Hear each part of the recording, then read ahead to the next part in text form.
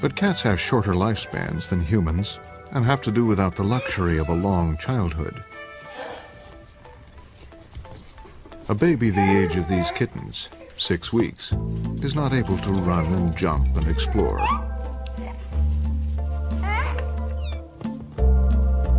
And by the time the kittens are five months old, much younger even than this baby, they'll be adults.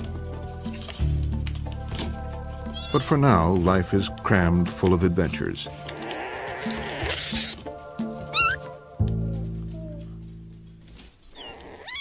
At just six weeks, they're fast developing the full range of cat skills.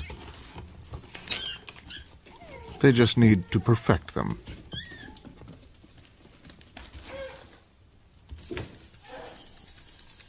The simplest of toys can be educational, helping to practice hunting, for example.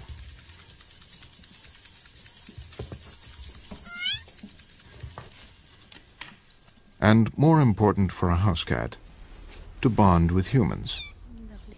If they don't do it now, they never will, and will grow up wild. That human bond has served cats well.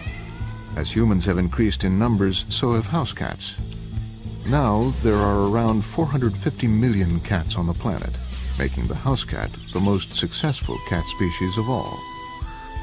And it hasn't meant losing their independence. They can live at the center of the human world or out at its edges. A house cat still has all the physical qualities that its wildcat ancestors had. There's spring and agility.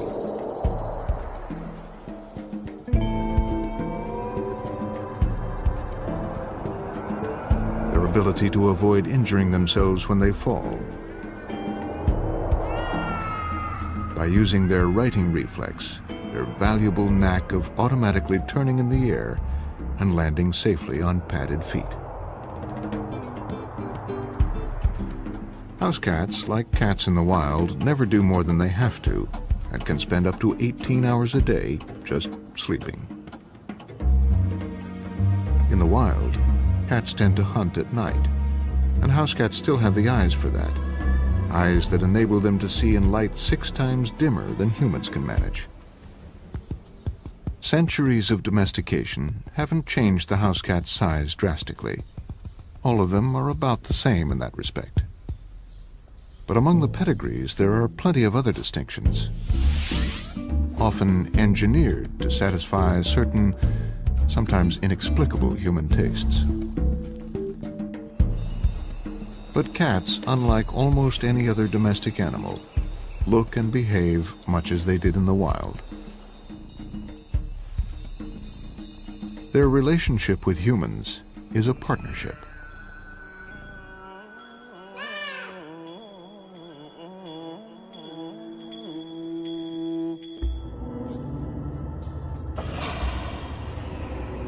It's a partnership that can be traced back almost 4,000 years to one of the world's first civilizations, ancient Egypt.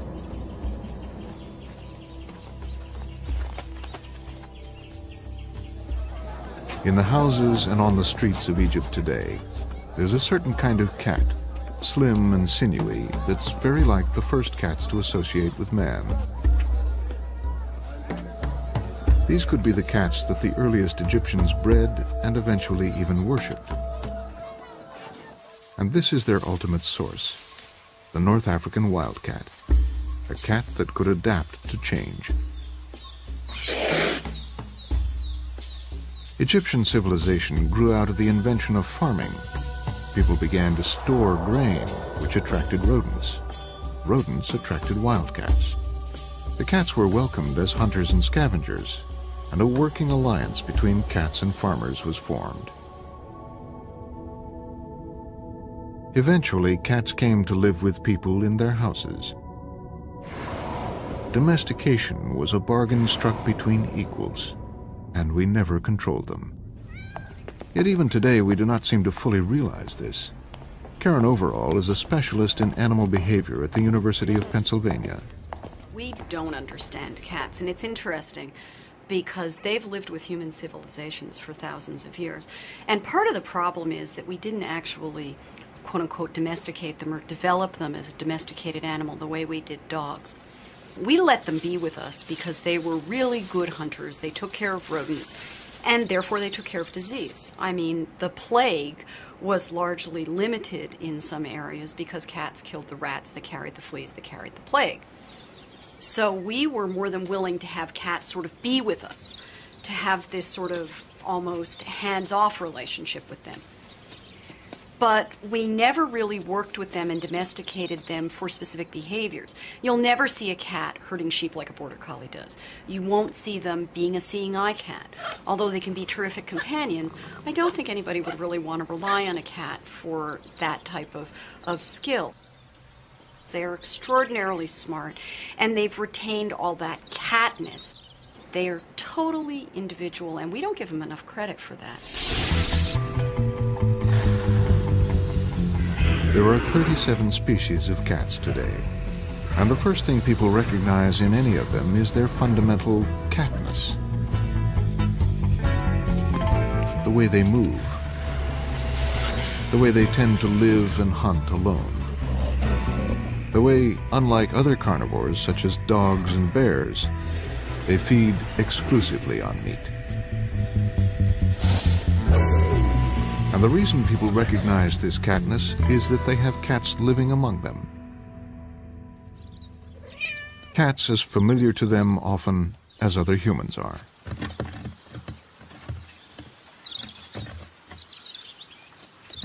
So what makes a cat the animal it is? What gives it its grace and sinuousness. Its excellence as a hunter. It starts with the basic framework, a light and flexible but sturdy skeleton.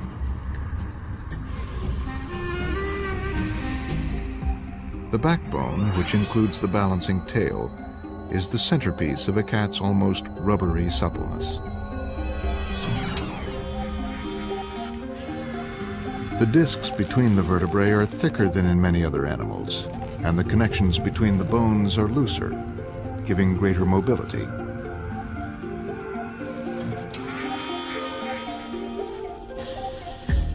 Like a ballet dancer on point, a cat walks on its toes.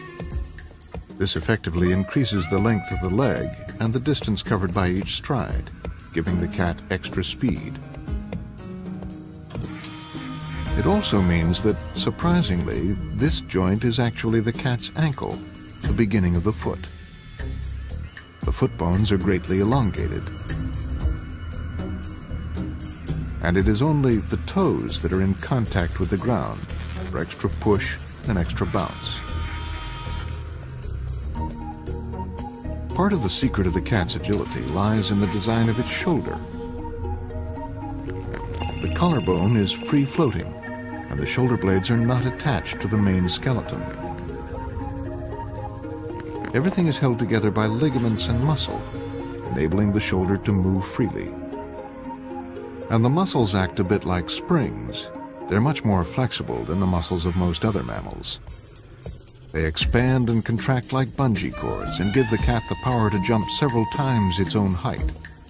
A human with muscles like a cat's could leap from the ground to the top of a house When a cat jumps, the power comes from the muscles of the hind legs. Each individual muscle is made up of many muscle fibers.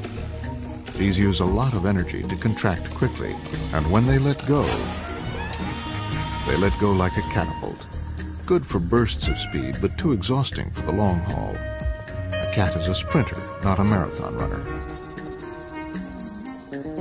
The cat is also a tightrope walker. This is because its chest is so narrow and its front legs so close together. Whether it's on the branch of a tree or the top of a fence, it walks as if it's strolling down a street.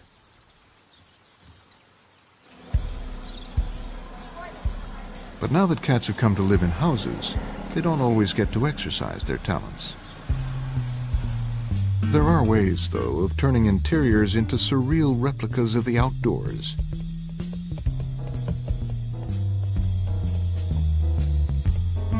This is the world that belongs to Molly, Little Jimmy, Bernard, Tom, Frank, and four other cats.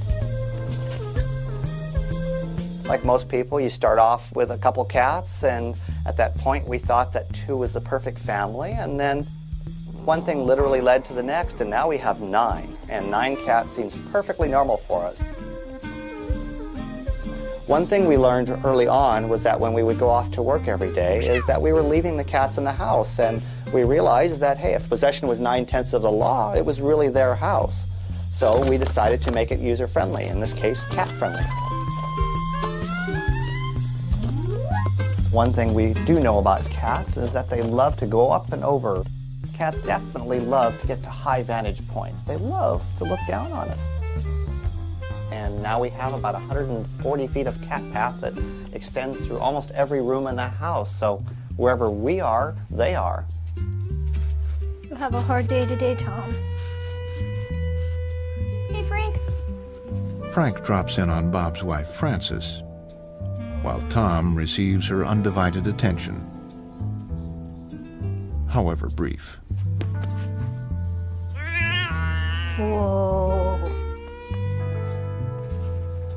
In the age-old human-cat contract, humans get pleasure from their half of the bargain, and the cats enjoy an indoor world as interesting and stimulating as outdoors, only safer. We tried to make sure that our catwalk was not only friendly and fun for our cats, but also fun for us too.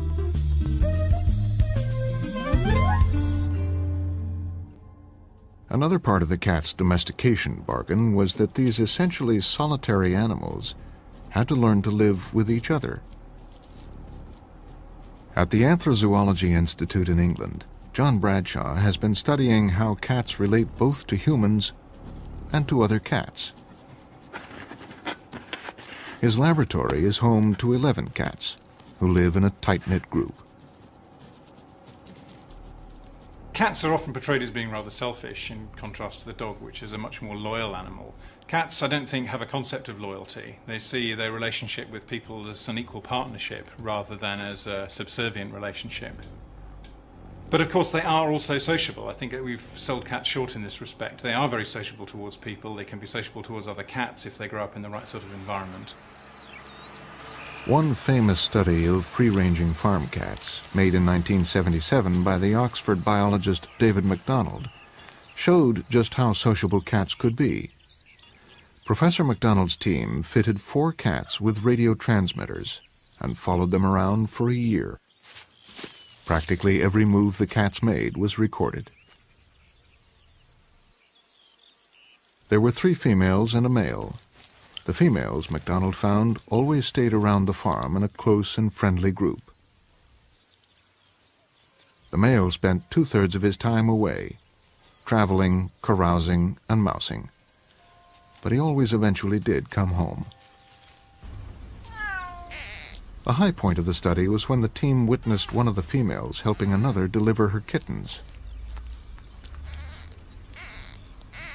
She acted as midwife and even helped bite the umbilical cord. Later, the two, sharing a nest, would nurse each other's kittens. It was the first scientific record of such close cooperation between semi-wild house cats, and proof that left to their own devices, they could be very sociable animals. What MacDonald's work showed us was that cat society isn't arranged in a linear hierarchy in the way that uh, dog or wolf society is. It's much more of a, an equal partnership, a cooperation between related females that gather around a particular site where there's plenty of food and plenty of places to have kittens. Modern pest control techniques are driving working cats, the mousers in the barn, out of business. But there are still plenty of places in the world where semi-wild cats live together. On the Italian island of Stromboli, these cats are everywhere.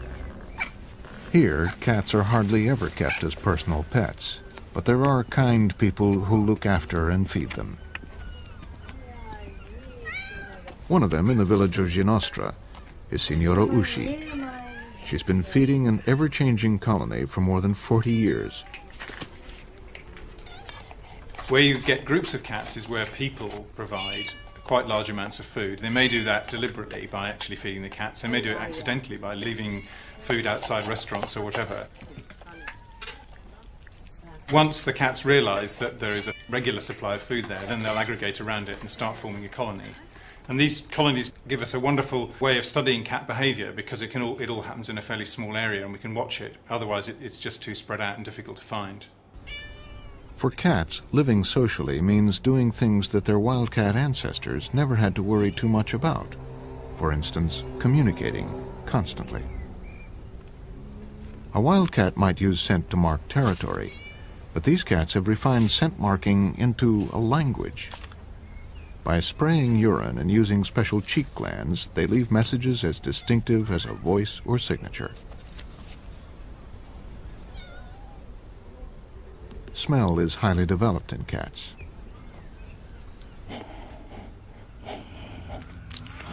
A cat's nose has a mucous membrane where smells are imprinted, twice the area of a human's. And just below it is a second smell detector, the Jacobson's organ. To use this, the cat draws air in through the mouth, and special cells analyze the scent. And smell isn't their only way of communicating. Cats also use rubbing. We think the rubbing signal is actually very important in cat society and also in cat human society as well. Cats tend to rub on other cats that are slightly bigger or fiercer than they are. So, for example, females will tend to rub on a tomcat that they want to show some sort of deference towards.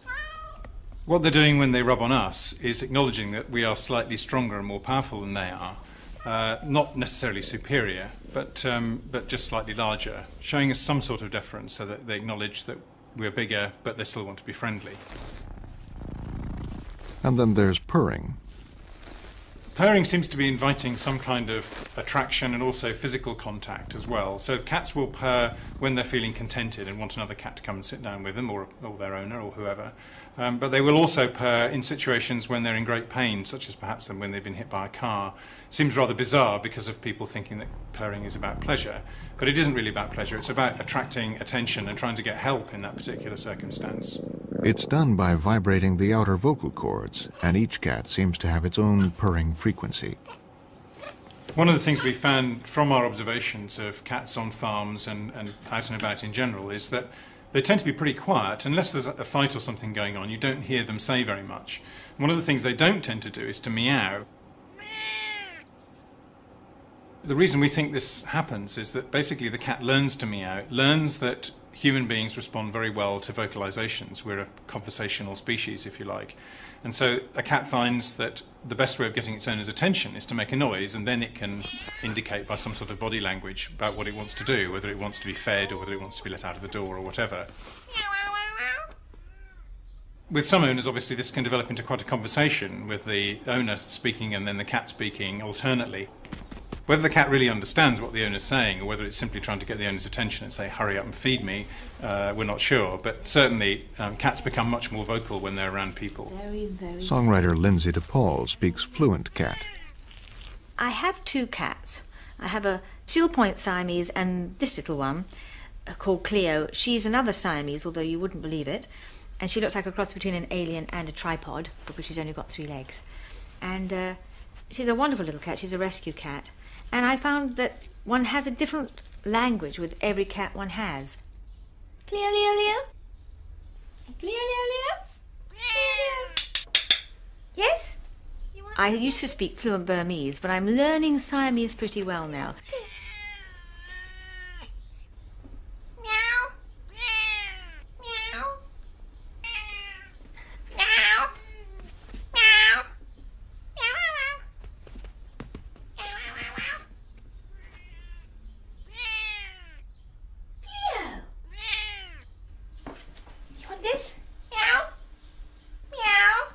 generally tell you everything they want. They're not polite. They will say, I want to go out. I want some food. Leave me alone. Give me a stroke.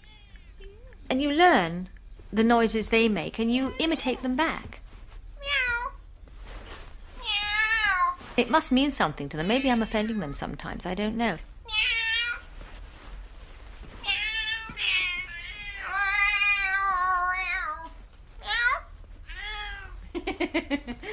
You're a good girl, aren't you? Cats have all the same senses humans have, but they work in different ways. A cat's senses evolved first and foremost to help with hunting. Even an easy-living house cat like Mango here still has all those sharp hunting perceptions, the front set eyes, for instance. When Mango looks at something, each eye gets a slightly off-center picture of it. The brain centers these and produces a three-dimensional image. Mango then knows how big the object is and how far away. Compared to the size of his head, Mango has much bigger eyes than our own. They gather more light. He can see as well in semi-darkness as in the middle of the day. Mango's eyes are so sensitive that they need pupils which can shut out bright light in a way that our own round pupils cannot. His pupils can close almost entirely into a slit. And then when the light fades, they open up to fill a much larger proportion of the eye than human pupils do. Mango can't see in the darkest dark, but he can see in much dimmer light than humans can. Cats have a layer of mirror cells at the rear of the eye.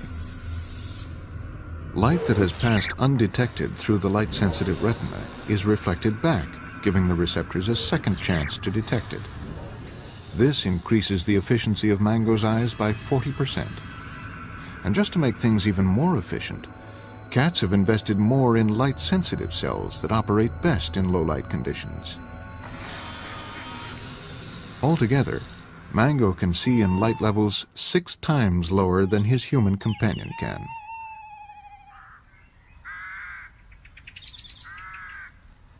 But a cat isn't better than a human at everything. Even if he could be taught to, Mango could never read. His eyes are not good at resolving fine detail, and he sees a printed page as a gray sheet.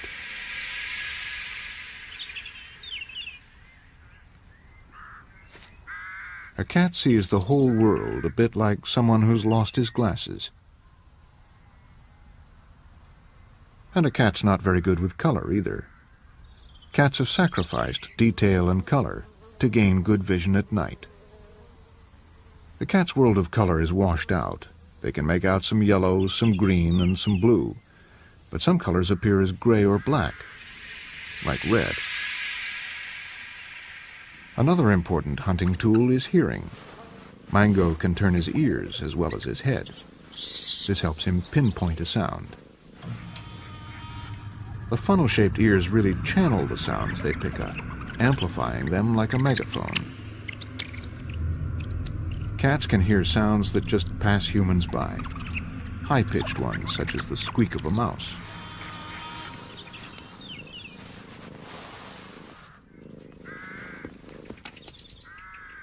And when a cat hears that squeak, it needs to know exactly where it's coming from. The relative intensity of the sound in each ear automatically turns the cat's head in the right direction. A cat is also very good at spotting movement, but when it gets closer to its prey, the next sense it needs is touch. This kind of game gives Mango a chance to go through his whole hunting routine. He even uses his whiskers to feel the feather. A whisker, three times thicker than a normal cat hair and three times deeper in the skin, has sensitive cells at its base. These give the brain minute information about anything the whisker touches.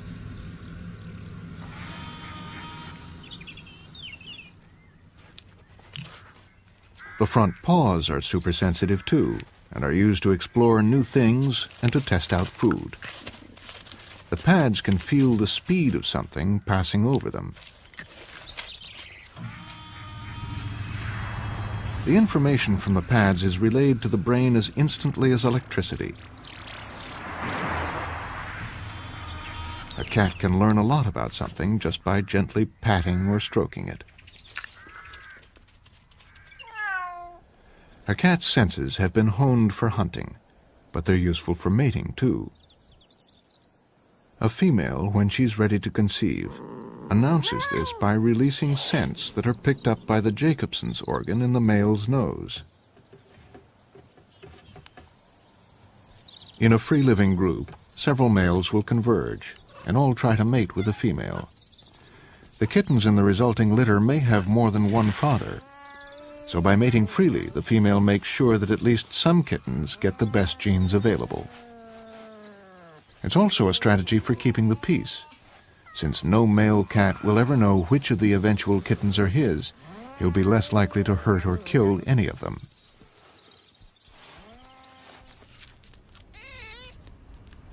When the kittens arrive, they're totally vulnerable. Though they're covered in fur, they can't regulate their own temperature. They're also blind, deaf, and unable to walk. But all that's a good thing. It means that under no circumstances can they stray from their mother, where anything could happen to them. Kittens follow the smell and the warmth to their mother's teats, latch on, and continue to suckle up to eight hours a day.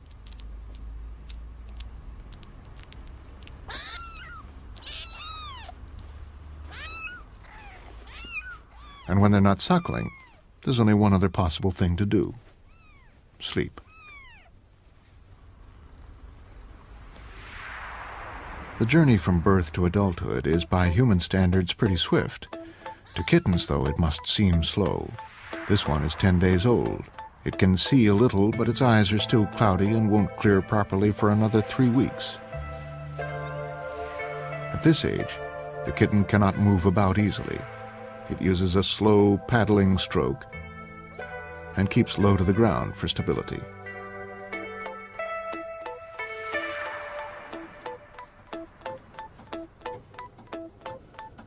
But by the age of three weeks, the kitten is up on its feet and walking, albeit a little shakily. But it is not yet able to walk up on its toes like an adult cat. This posture will take a while to perfect. But confidence is growing, and the kittens show the beginnings of an urge to explore and play. A week later, and the play's getting better.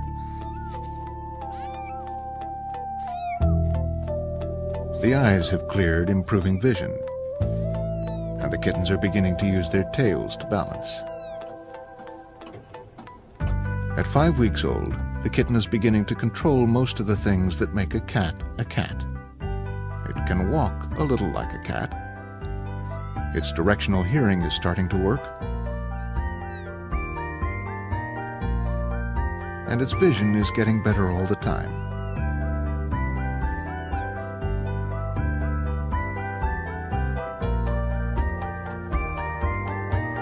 At six weeks, just walking isn't enough playing and grooming are developing.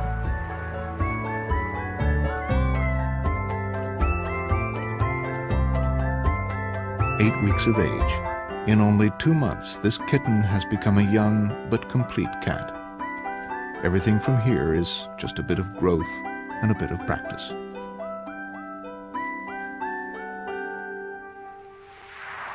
The pattern of development is about the same for all species of cat. House kittens, though, have one other important lesson to learn. How to get along with humans. These people in Bristol, England, are volunteer kitten cuddlers coming to a home for stray cats and kittens. Oh, there's a good girl. Okay, sweetie. Oh, How are you then? Oh, look at you. What beautiful, beautiful little kittens you are. Contrary to what people tend to think, kittens aren't actually born with the ability to interact with us. They have to learn it. They'll start learning it from the time that their eyes open and will probably stop learning at about seven to eight weeks of age. Cat that gets lots of attention, lots of handling at that time will tend to grow up to be a person cat, a cat that likes to jump onto people's laps and to, to be stroked. A cat that gets a small amount of handling will tend to be the more aloof type, the one that will tolerate human presence but won't necessarily seek it out. If they don't encounter people during that critical period, then they're very unlikely to be friendly to people. They'll tend to go wild. Uncuddled stray kittens will never know this kind of life. Cuddler Don England. We like to get them in a home environment as much as possible with curtains and carpets and chairs so that when they go into a new home they're not phased by it and they know what to expect. And hopefully we're homing perfect user friendly little kittens. And of course we get people coming back to us and telling us how nice the cats are and how well house trained they are and that's what we aim for.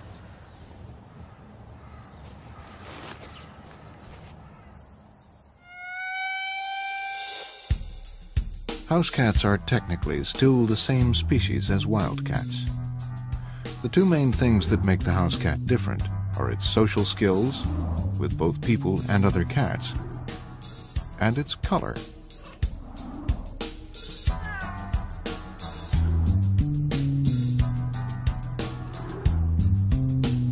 House cats don't need camouflage. Freed from that requirement, the ancestral coat of the tabby-colored wildcat has given way to almost every pattern and hue any animal can conceivably have.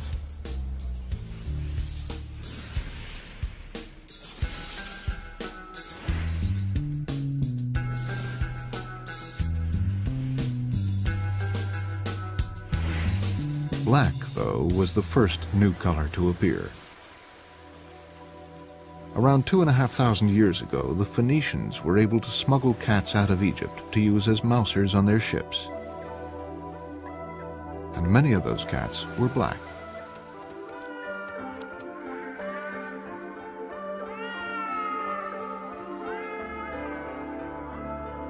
As they traded around the Mediterranean, the Phoenicians set up colonies in many places, such as Carthage and Gades, now Cadiz in Spain.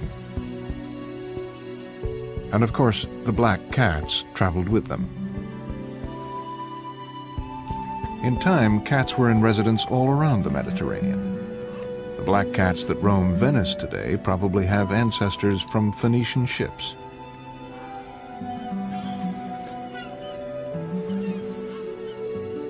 A thousand years or so after the Phoenicians, the Vikings were the great sea power. They had ship's cats too, but they favored red tabbies, marmalades.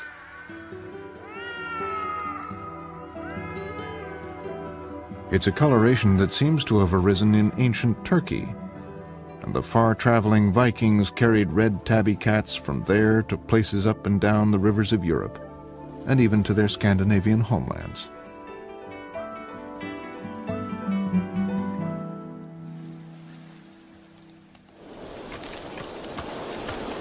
The ship is the way that cats of all colors made their way around the world. Every place on the planet that's inhabited by humans is also inhabited by cats.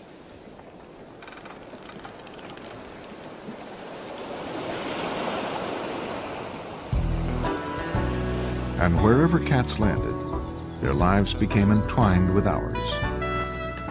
This is Miami, Florida, home of one of America's classiest cat shows. These aren't average randomly bred house cats. These are pedigrees, expensive contestants brought here to win their owners prestige and prizes.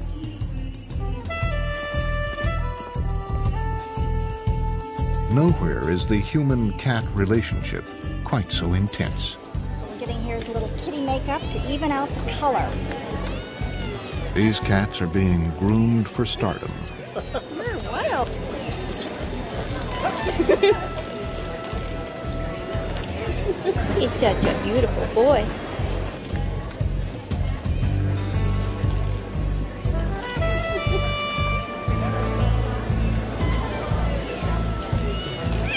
You're so unhappy.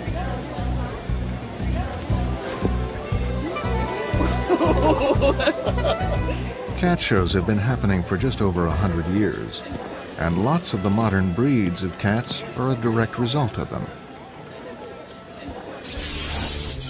Many cat breeds are variations on types that developed naturally and locally. A Chartreux, linked with the Crusaders and French Carthusian monks.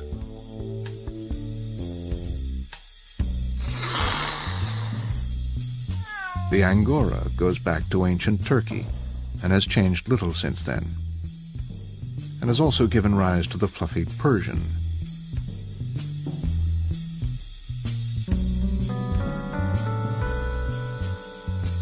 Another long hair, the Maine Coon, from a cat that developed naturally in the cold New England winters. The Abyssinian is an ancient breed. Even today, these elegant cats retain the look of the first cats to associate with man. It was a natural mutation that shaped the Japanese bobtail, but now it's a thoroughbred.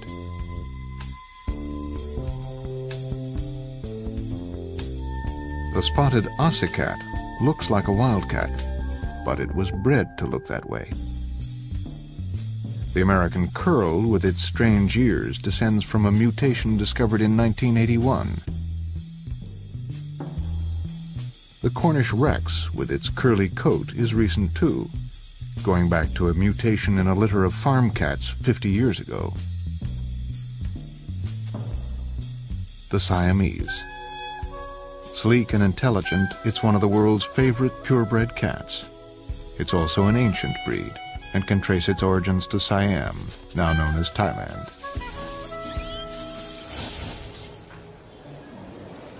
One of the most fun cats I had the pleasure of handling this weekend was this brown patched tabby. What I especially liked about this cat was this fantastic roundness to that head, short nose, rounded skull, and just such a beautiful, beautiful expression even though she is a little on the wild side. best champion in show, best cat in show! Cats differ from almost every other domestic animal in that they aren't usually bred for any particular use, just to satisfy various human tastes. And when tastes change, cats change. A cat show a little over 40 years ago, and a Persian entry. A Persian entry today. Fashion has now decreed that Persians don't need noses, and in the process of flattening them, breeders have created an animal with distorted tear ducts and eyes that continually weep.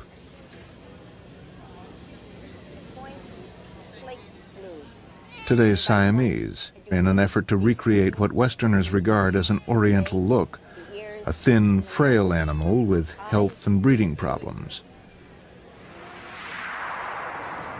Forty years ago, a Siamese contestant was chunkier than today's, but still slender, sleeker, and more exotic than ordinary cats. Other modern variations on the Siamese. The face is no longer round, but triangular.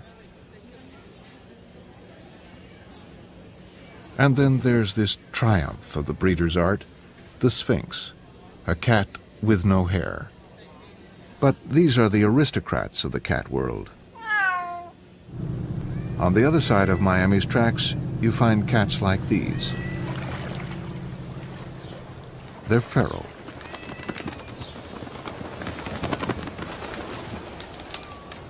House cats and their offspring that have gone wild. They live in colonies on the edges of our lives and depend on each other and on human handouts to survive.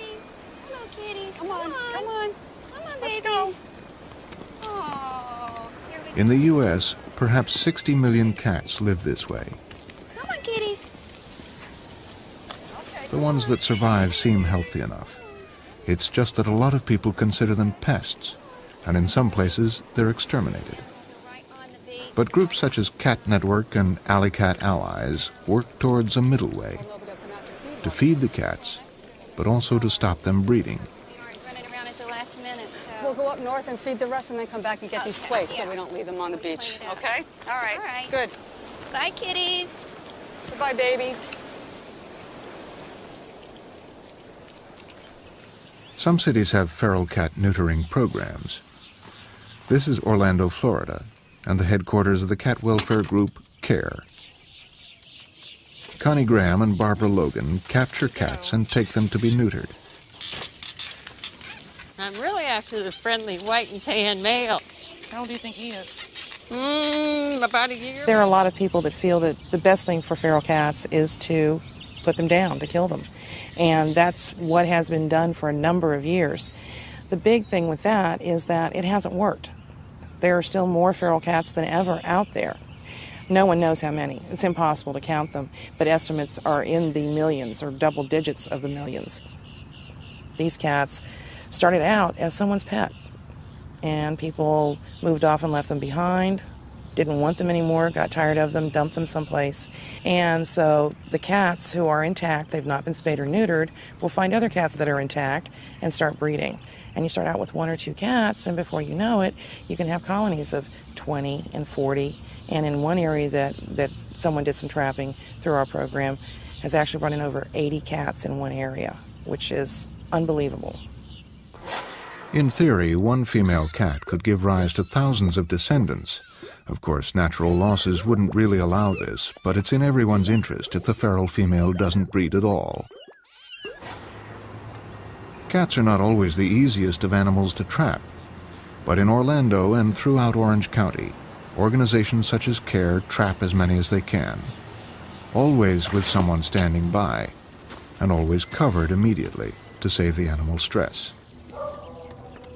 Then from all parts of the city, cats are taken to the neutering clinic. Even kittens. Hopefully, they will soon be found new and loving homes. It's almost an assembly line. The cats are anesthetized, prepared, and taken to be snipped. It is efficient and painless.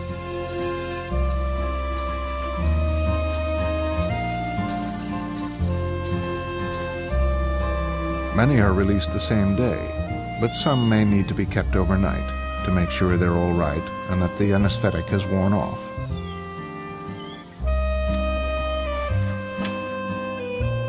Most go back to their colonies to live out their lives. home, little one. You know where you are? Volunteers will check on them regularly and give them food. As long as we give them maybe a little help by spaying and neutering them, inoculating them against some diseases that they can pick up, they stand a much better chance of living a normal, actually lengthy life. We don't believe they're better off dead. Life is precious, and there's eh, death is something that we all have to face, but unnecessary death is something we want to avoid. There probably wouldn't be so many feral cats in the first place if people understood more about cats and what it takes to keep them. Class, I'm very happy to tell you that we have a special guest. And just as kittens need to be taught about people, children need to be taught about cats. Who has a cat at home? Good. Roberto and Alexis have a cat at home. Roberto, what's your cat's name? Kiko. Kiko. Alexis, what's your cat's name? Fluffy. Well, Hector's gonna come in with three special cats, and we're gonna get to pet them, and we're gonna learn their names and call them, and we'll get to learn some special things about them. Are you ready? Yeah. Good. In Miami, Hector Castaner and his cats, known as Buster and the F Team, take the message to schools. Here is flashback. Here is Buster.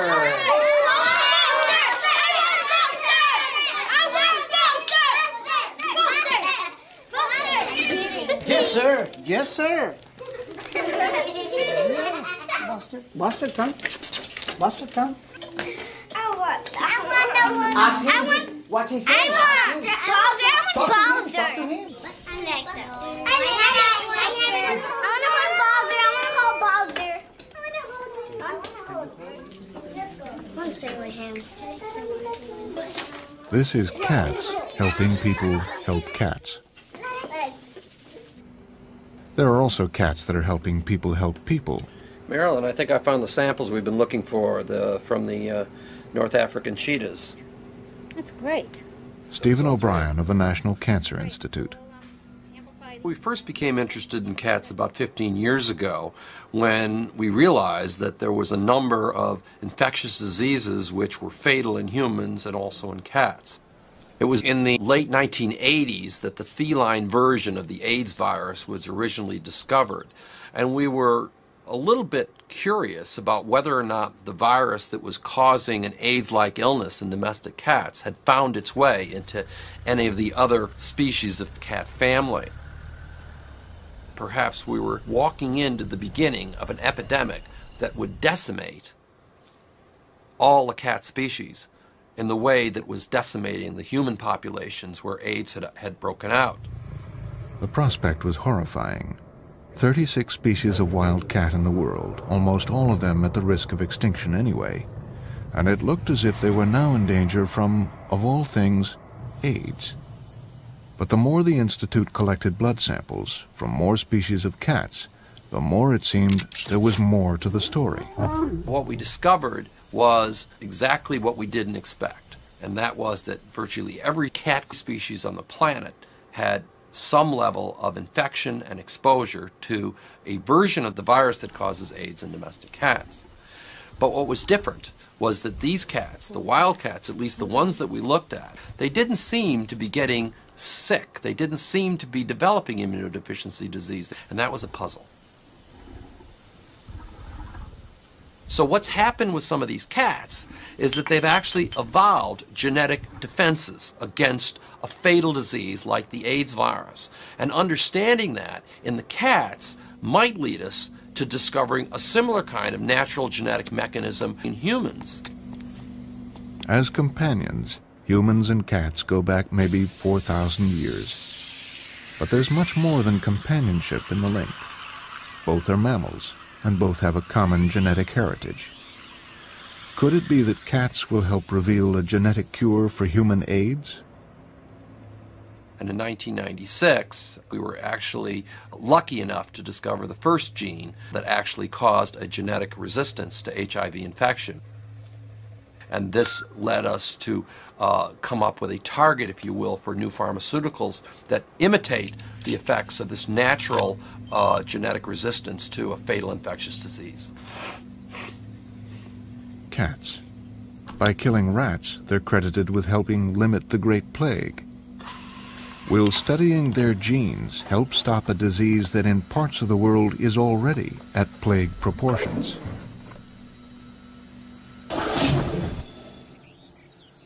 Cats, after all, are our old friends.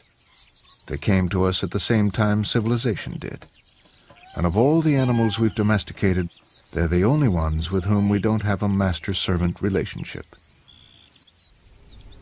Cats choose to stay with us, and we live with them, have them in our houses, for one reason and one reason only. We like them, and they like us.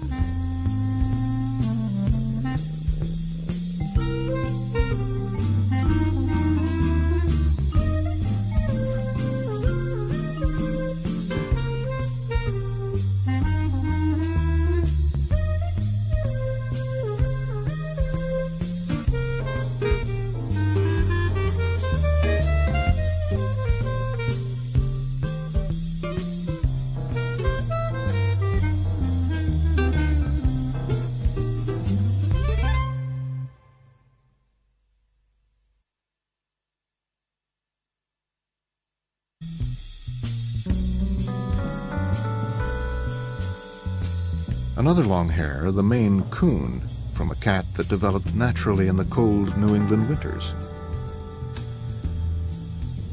The Abyssinian is an ancient breed. Even today, these elegant cats retain the look of the first cats to associate with man.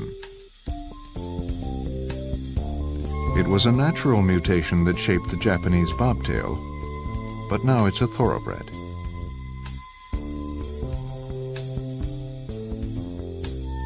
The spotted Ocicat looks like a wildcat, but it was bred to look that way. The American curl, with its strange ears, descends from a mutation discovered in 1981.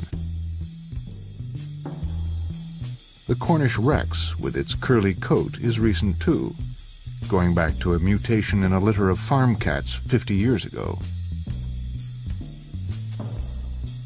The Siamese. Sleek and intelligent, it's one of the world's favorite purebred cats. It's also an ancient breed and can trace its origins to Siam, now known as Thailand.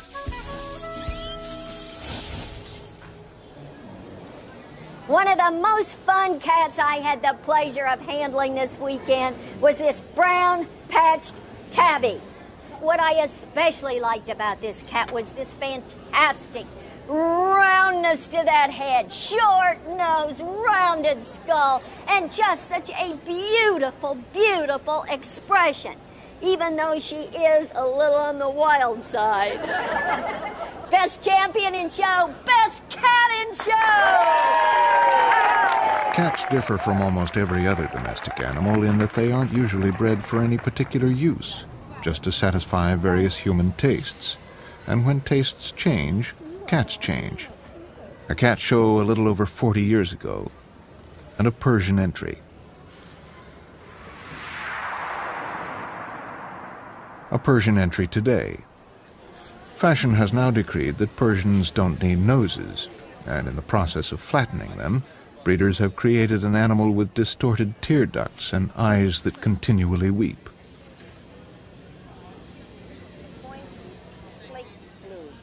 Today's Siamese, in an effort to recreate what Westerners regard as an Oriental look, a thin, frail animal with health and breeding problems. Forty years ago, a Siamese contestant was chunkier than today's, but still slender, sleeker, and more exotic than ordinary cats. Other modern variations on the Siamese. The face is no longer round, but triangular to control most of the things that make a cat a cat. It can walk a little like a cat. Its directional hearing is starting to work. And its vision is getting better all the time.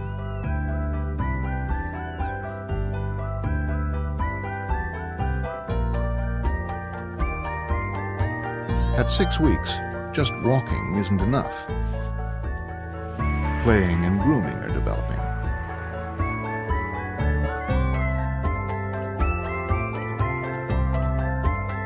Eight weeks of age. In only two months, this kitten has become a young but complete cat. Everything from here is just a bit of growth and a bit of practice.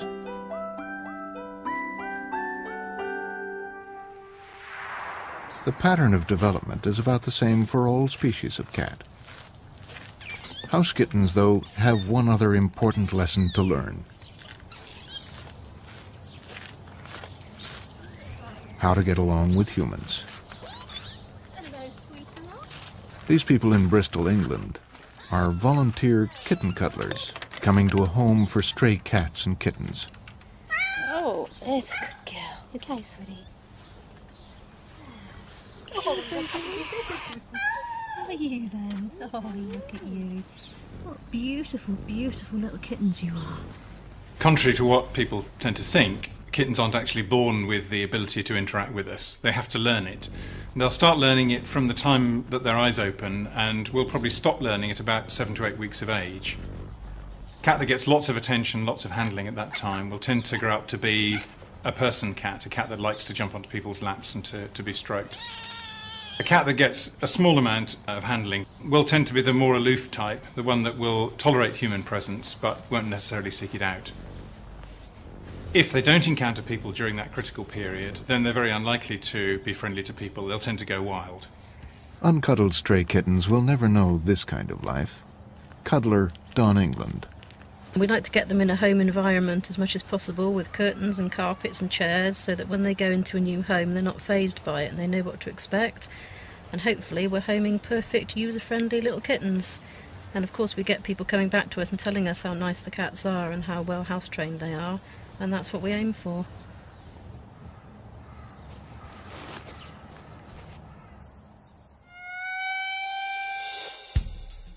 House cats are technically still the same species as wild cats. The two main things that make the house cat different are its social skills, with both people and other cats, and its color. In the U.S., perhaps 60 million cats live this way. Come on, kitties. The ones that survive seem healthy enough. It's just that a lot of people consider them pests, and in some places they're exterminated. But groups such as Cat Network and Alley Cat Allies work towards a middle way to feed the cats, but also to stop them breeding.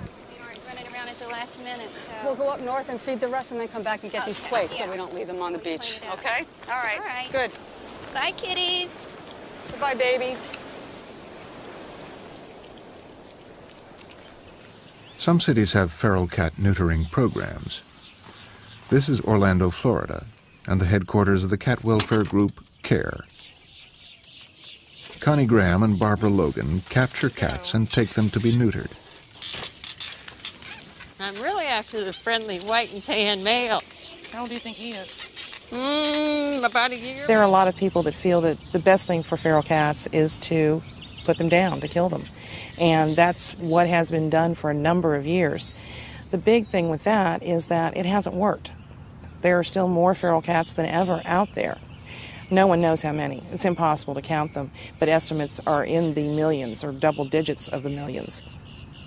These cats started out as someone's pet, and people moved off and left them behind, didn't want them anymore, got tired of them, dumped them someplace. And so the cats who are intact, they've not been spayed or neutered, will find other cats that are intact and start breeding. And you start out with one or two cats, and before you know it, you can have colonies of 20 and 40 and in one area that, that someone did some trapping through our program, has actually brought in over 80 cats in one area, which is unbelievable. In theory, one female cat could give rise to thousands of descendants. Of course, natural losses wouldn't really allow this, but it's in everyone's interest if the feral female doesn't breed at all. Cats are not always the easiest of animals to trap, but in Orlando and throughout Orange County, organizations such as CARE trap as many as they can, always with someone standing by, and always covered immediately to save the animal stress. Then from all parts of the city, cats are taken to the neutering clinic. Even kittens. Hopefully, they will soon be found new and loving homes. It's almost an assembly line. The cats are anesthetized, prepared, and taken to be snipped. It is efficient and painless.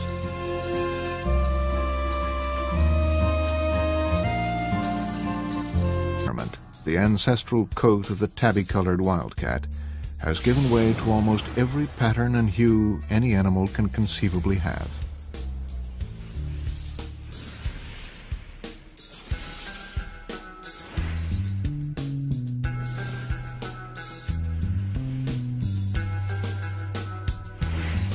Black, though, was the first new color to appear.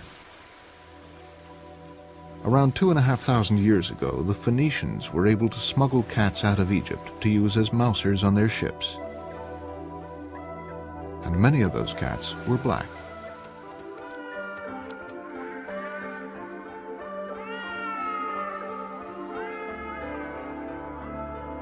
As they traded around the Mediterranean, the Phoenicians set up colonies in many places, such as Carthage and Gades, now Cadiz in Spain. And of course, the black cats traveled with them. In time, cats were in residence all around the Mediterranean. The black cats that roam Venice today probably have ancestors from Phoenician ships.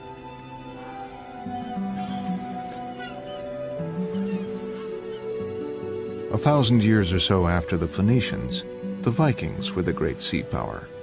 They had ship's cats too, but they favored red tabbies, marmalades.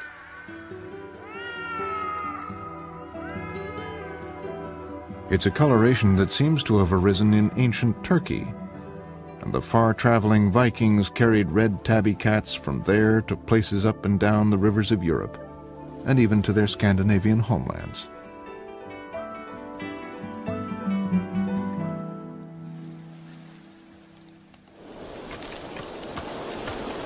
The ship is the way that cats of all colors made their way around the world. Every place on the planet that's inhabited by humans is also inhabited by cats.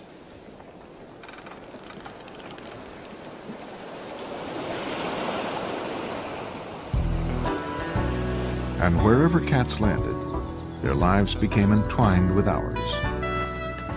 This is Miami, Florida, home of one of America's classiest cat shows. These aren't average randomly bred house cats. These are pedigrees, expensive contestants brought here to win their owners prestige and prizes.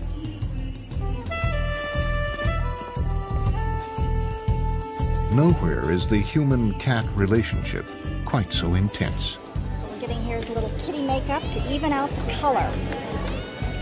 These cats are being groomed. What MacDonald's work showed us was that cat society isn't arranged in a linear hierarchy in the way that uh, dog or wolf society is.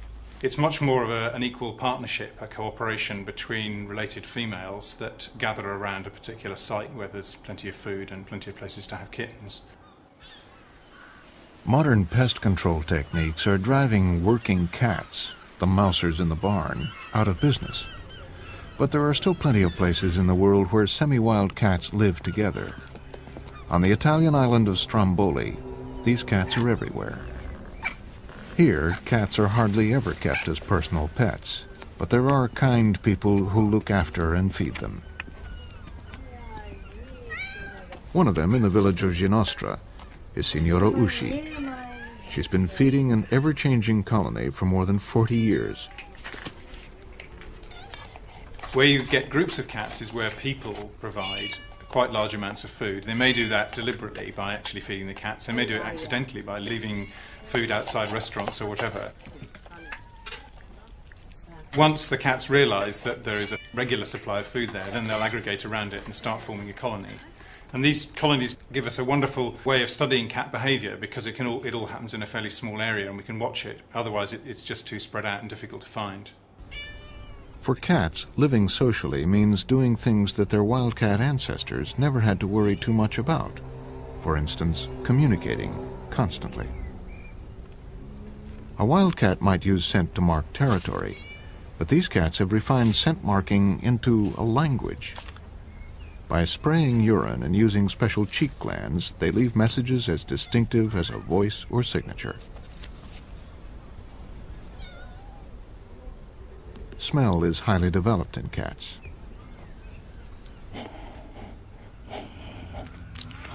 A cat's nose has a mucous membrane where smells are imprinted, twice the area of a human's.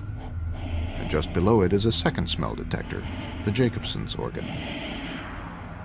To use this, the cat draws air in through the mouth, and special cells analyze the scent. And smell isn't their only way of communicating. Cats also use rubbing. We think the rubbing signal is actually very important in cat society and also in cat-human society as well. Cats tend to rub on other cats that are slightly bigger or fiercer than they are. So, for example, females will tend to rub on a tomcat that they want to show some sort of deference towards. What they're doing when they rub on us is acknowledging that we are slightly stronger and more powerful than they are. Uh, not necessarily superior, but, um, but just slightly larger, showing us some sort of deference so that they acknowledge that we're bigger, but they still want to be friendly. And then there's purring, sometimes inexplicable human tastes. But cats, unlike almost any other domestic animal, look and behave much as they did in the wild. Their relationship with humans is a partnership.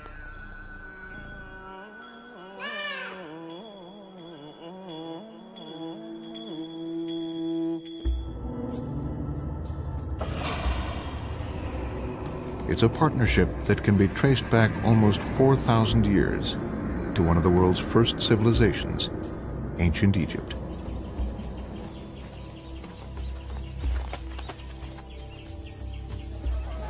In the houses and on the streets of Egypt today, there's a certain kind of cat, slim and sinewy, that's very like the first cats to associate with man. These could be the cats that the earliest Egyptians bred and eventually even worshipped. And this is their ultimate source, the North African wildcat, a cat that could adapt to change. Egyptian civilization grew out of the invention of farming. People began to store grain, which attracted rodents. Rodents attracted wildcats. The cats were welcomed as hunters and scavengers, and a working alliance between cats and farmers was formed. Eventually, cats came to live with people in their houses.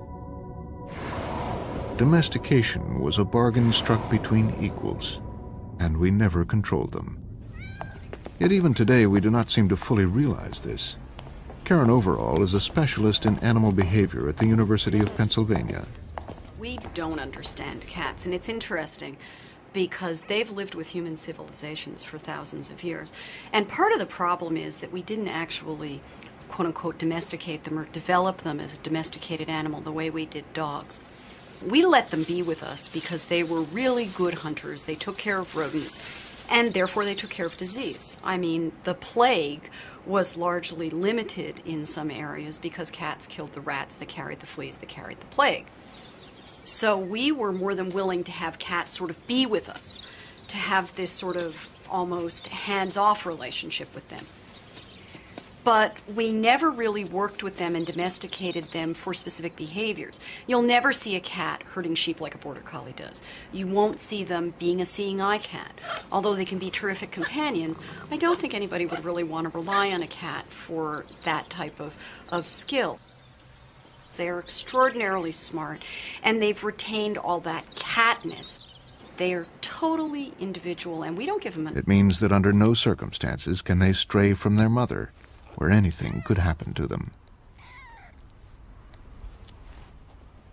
Kittens follow the smell and the warmth to their mother's teats, latch on, and continue to suckle up to eight hours a day.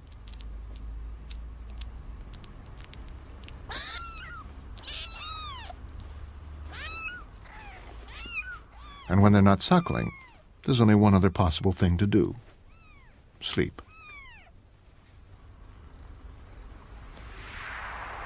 The journey from birth to adulthood is, by human standards, pretty swift. To kittens, though, it must seem slow. This one is 10 days old. It can see a little, but its eyes are still cloudy and won't clear properly for another three weeks. At this age, the kitten cannot move about easily. It uses a slow paddling stroke and keeps low to the ground for stability.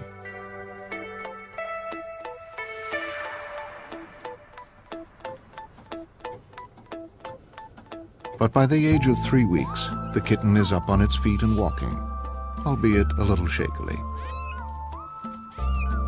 But it is not yet able to walk up on its toes like an adult cat.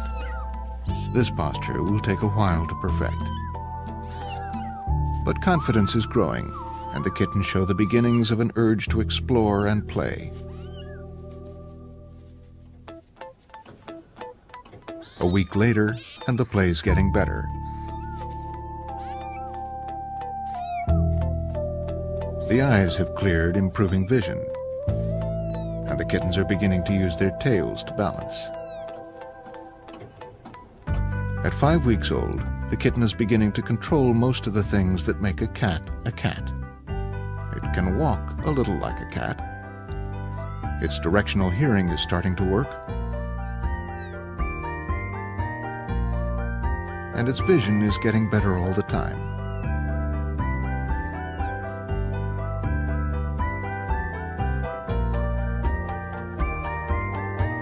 At six weeks, just walking isn't enough. Playing and grooming are developing.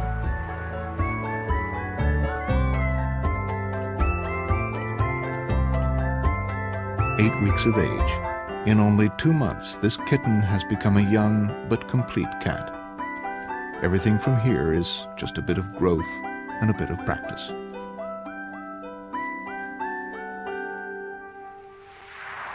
The pattern of development is about the same for all species of cat. House kittens, though, have one other important lesson to learn. And you start out with one or two cats, and before you know it, you can have colonies of 20 and 40 And in one area that, that someone did some trapping through our program, has actually brought in over 80 cats in one area, which is unbelievable. In theory, one female cat could give rise to thousands of descendants. Of course, natural losses wouldn't really allow this, but it's in everyone's interest if the feral female doesn't breed at all. Cats are not always the easiest of animals to trap, but in Orlando and throughout Orange County, organizations such as CARE trap as many as they can, always with someone standing by, and always covered immediately to save the animal stress. Then from all parts of the city, cats are taken to the neutering clinic. Even kittens. Hopefully, they will soon be found new and loving homes. It's almost an assembly line. The cats are anesthetized, prepared, and taken to be snipped. It is efficient and painless.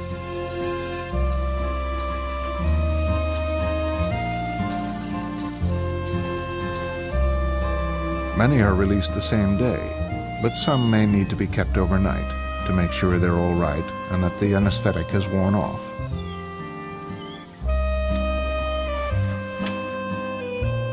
Most go back to their colonies to live out their lives. Home, little one. You know where you are? Volunteers will check on them regularly and give them food. As long as we give them maybe a little help by spaying and neutering them, inoculating them against some diseases that they can pick up, they stand a much better chance of living a normal, actually lengthy life. We don't believe they're better off dead. Life is precious, and there's death is something that we all have to face, but unnecessary death is something we want to avoid. There probably wouldn't be so many feral cats in the first place if people understood more about cats and what it takes to keep them. Class, I'm very happy to tell you that we have a special guest. And just as kittens need to be taught about people, children need to be taught about cats. Who has a cat at home? Good. Roberto and Alexis have a cat at home. Roberto, what's your cat's name? Kiko. Kiko. Alexis, what's your cat's name? Fluffy. Well, Hector's gonna come in with three special cats, and we're gonna get to pet them, and we're gonna learn their names and call them, and we'll get to learn some special things about them. Are you ready? Yeah! More light than humans can. Cats have a layer of mirror cells at the rear of the eye. Light that has passed undetected through the light-sensitive retina is reflected back, giving the receptors a second chance to detect it. This increases the efficiency of Mango's eyes by 40%. And just to make things even more efficient, cats have invested more in light-sensitive cells that operate best in low-light conditions. Altogether, Mango can see in light levels six times lower than his human companion can.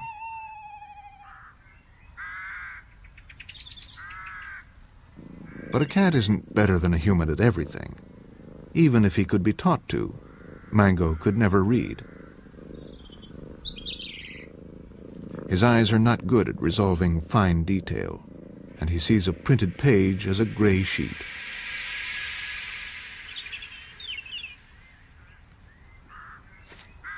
A cat sees the whole world a bit like someone who's lost his glasses. And a cat's not very good with color either. Cats have sacrificed detail and color to gain good vision at night. The cat's world of color is washed out.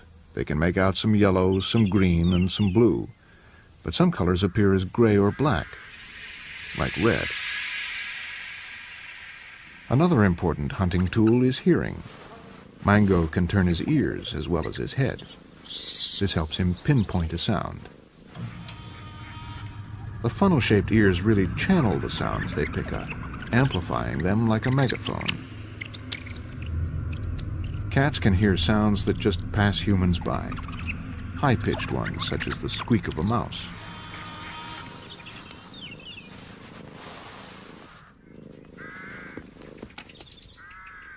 And when a cat hears that squeak, it needs to know exactly where it's coming from. The relative intensity of the sound in each ear automatically turns the cat's head in the right direction. A cat is also very good at spotting movement, but when it gets closer to its prey, the next sense it needs is touch. This kind of game gives Mango a chance to go through his whole hunting routine. He even uses his whiskers to feel the feather. A whisker, three times thicker than a normal cat hair and three times deeper in the skin, has sensitive cells at its base. These give the brain minute information about anything the whisker touches.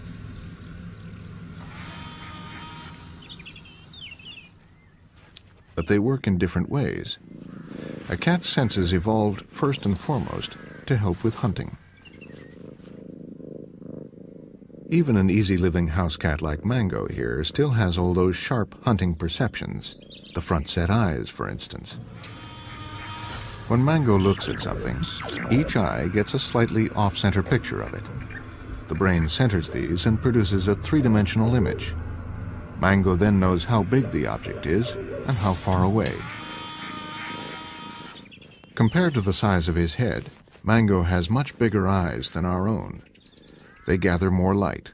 He can see as well in semi-darkness as in the middle of the day. Mango's eyes are so sensitive that they need pupils which can shut out bright light in a way that our own round pupils cannot. His pupils can close almost entirely into a slit. And then when the light fades, they open up to fill a much larger proportion of the eye than human pupils do. Mango can't see in the darkest dark, but he can see in much dimmer light than humans can. Cats have a layer of mirror cells at the rear of the eye. Light that has passed undetected through the light-sensitive retina is reflected back, giving the receptors a second chance to detect it. This increases the efficiency of Mango's eyes by 40%. And just to make things even more efficient, Cats have invested more in light-sensitive cells that operate best in low-light conditions. Altogether, Mango can see in light levels six times lower than his human companion can.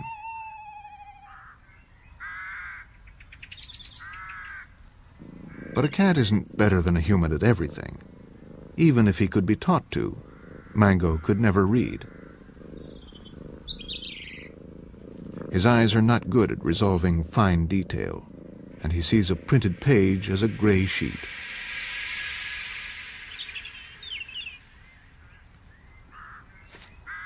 A cat sees the whole world a bit like someone who's lost his glasses. And a cat's not very good with color either. Cats have sacrificed detail and color to gain good vision at night. The cat's world of color is washed out. They can make out some yellow, some green, and some blue. But some colors appear as gray or black, like red. Another important hunting tool is hearing. Mango can turn his ears as well as his head. This helps him pinpoint a sound. The funnel-shaped ears really channel the sounds they pick up, amplifying. Something that we all have to face, but unnecessary death is something we want to avoid. There probably wouldn't be so many feral cats in the first place if people understood more about cats and what it takes to keep them. Class, I'm very happy to tell you that we have a special guest. And just as kittens need to be taught about people, children need to be taught about cats. Who has a cat at home?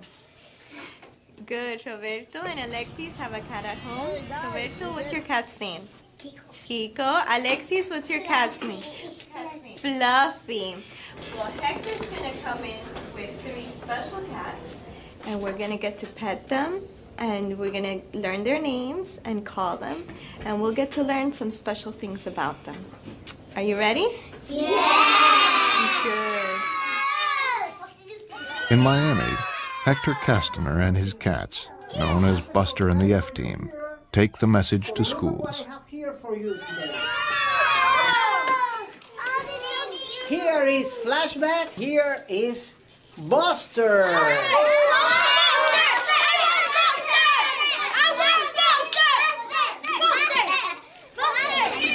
Yes, sir. Yes, sir. Yeah. Buster, Buster, come. Buster, come.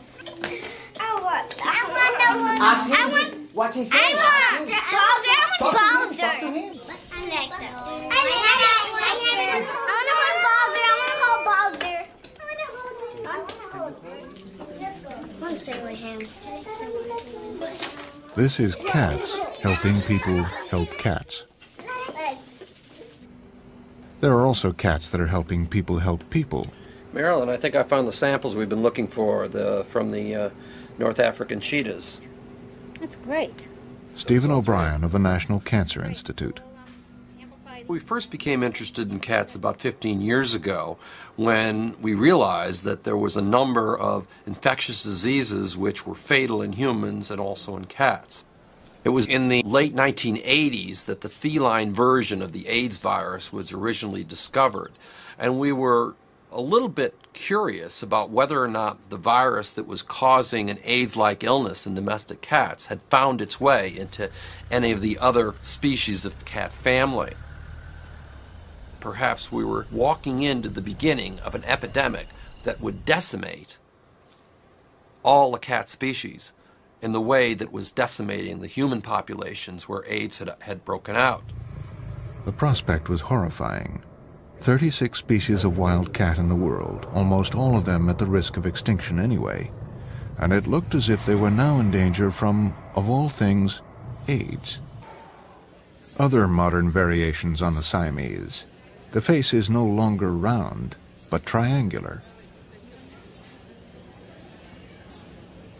And then there's this triumph of the breeder's art, the Sphynx, a cat with no hair. But these are the aristocrats of the cat world. On the other side of Miami's tracks, you find cats like these. They're feral.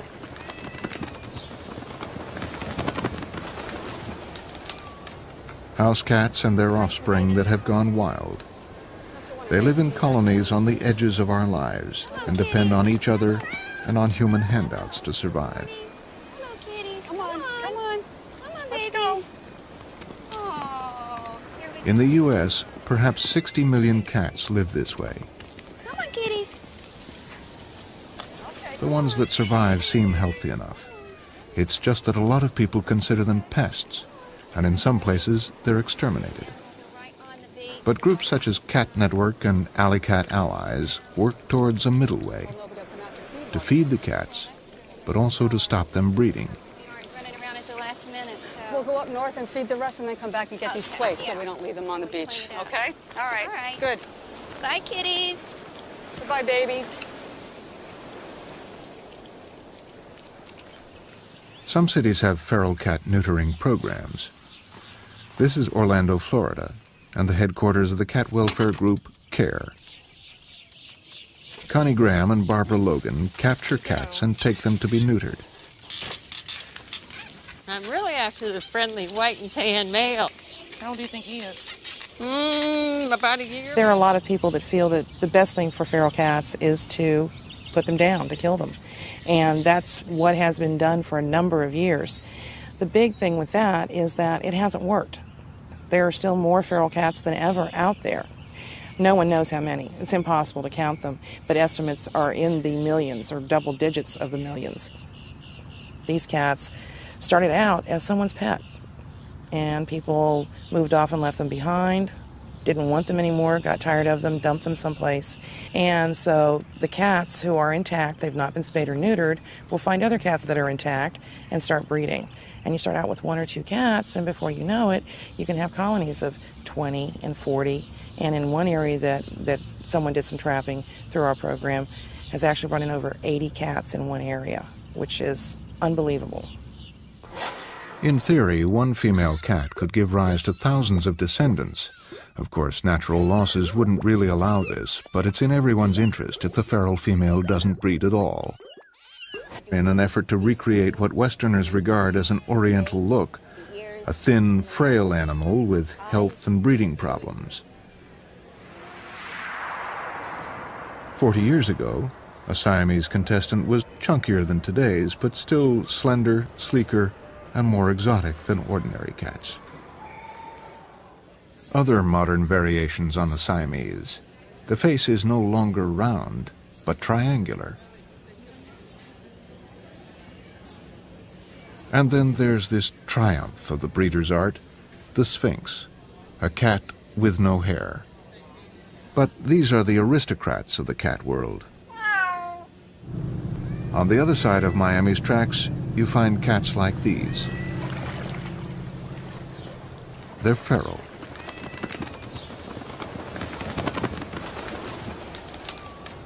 House cats and their offspring that have gone wild. They live in colonies on the edges of our lives and depend on each other and on human handouts to survive. Come on, come on. Let's go. In the U.S., perhaps 60 million cats live this way. Come on, kitties. The ones that survive seem healthy enough. It's just that a lot of people consider them pests, and in some places they're exterminated. But groups such as Cat Network and Alley Cat Allies work towards a middle way to feed the cats, but also to stop them breeding. We'll go up north and feed the rest and then come back and get these quakes so we don't leave them on the beach. Okay? All right. All right. Good. Bye, kitties. Goodbye, babies.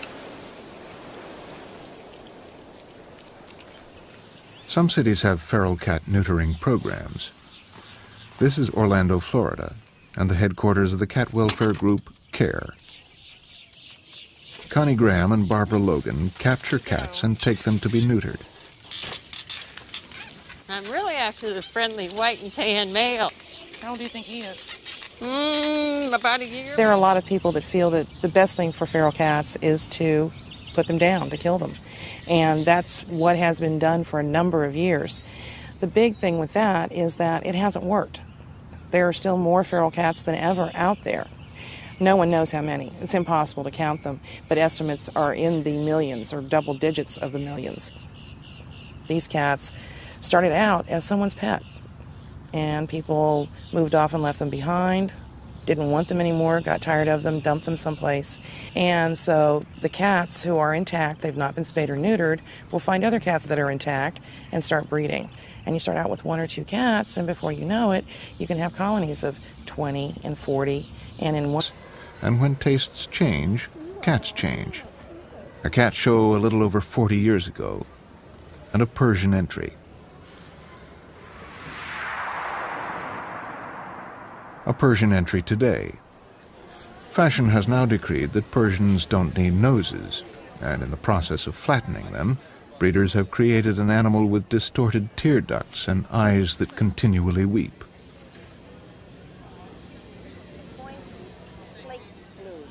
Today's Siamese, in an effort to recreate what Westerners regard as an Oriental look, a thin, frail animal with health and breeding problems. Forty years ago, a Siamese contestant was chunkier than today's, but still slender, sleeker, and more exotic than ordinary cats. Other modern variations on the Siamese. The face is no longer round, but triangular to control most of the things that make a cat a cat. It can walk a little like a cat. Its directional hearing is starting to work. And its vision is getting better all the time.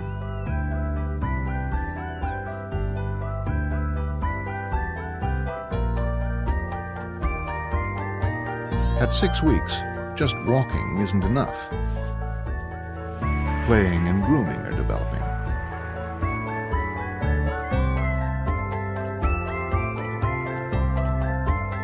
Eight weeks of age. In only two months, this kitten has become a young but complete cat. Everything from here is just a bit of growth and a bit of practice.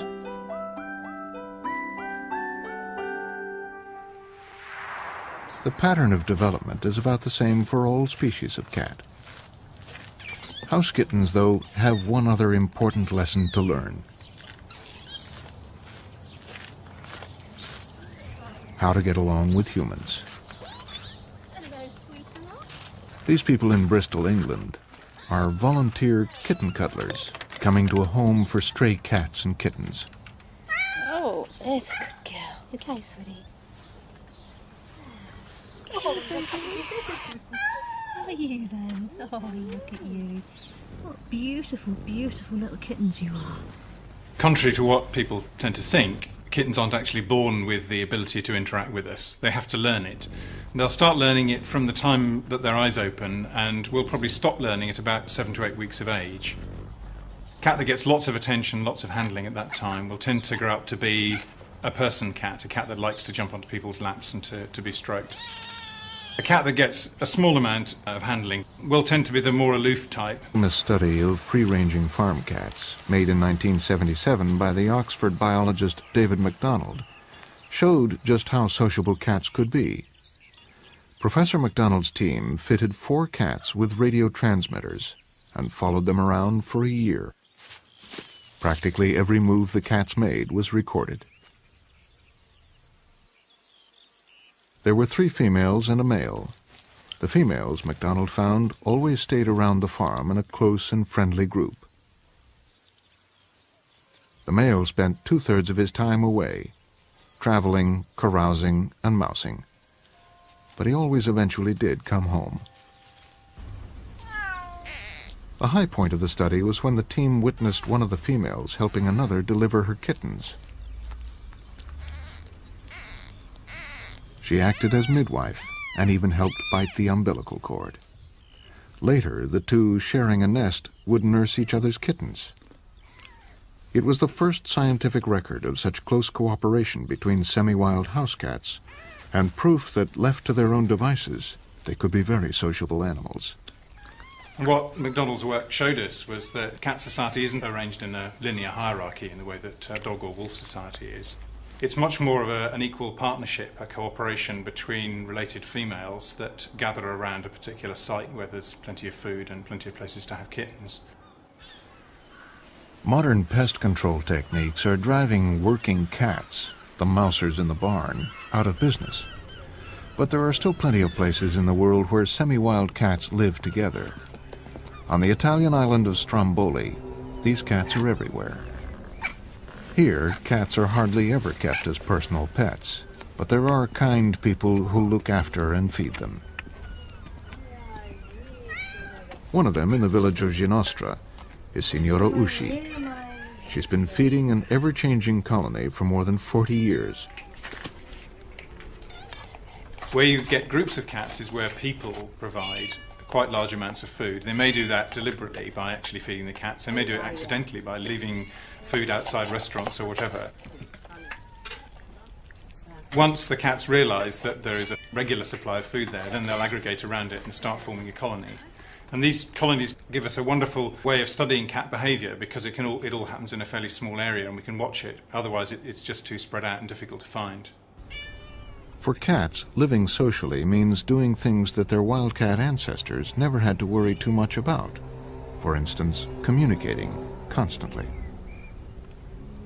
A wildcat might use scent to mark territory, but these cats have refined scent marking into a language by spraying urine and using special cheek glands in the middle of the day. Mango's eyes are so sensitive that they need pupils which can shut out bright light in a way that our own round pupils cannot. His pupils can close almost entirely into a slit. And then when the light fades, they open up to fill a much larger proportion of the eye than human pupils do. Mango can't see in the darkest dark, but he can see in much dimmer light than humans can. Cats have a layer of mirror cells at the rear of the eye. Light that has passed undetected through the light-sensitive retina is reflected back, giving the receptors a second chance to detect it. This increases the efficiency of Mango's eyes by 40%.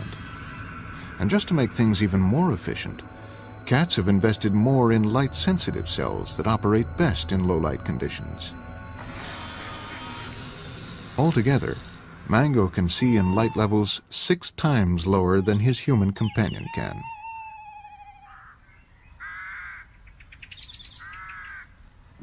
But a cat isn't better than a human at everything. Even if he could be taught to, Mango could never read.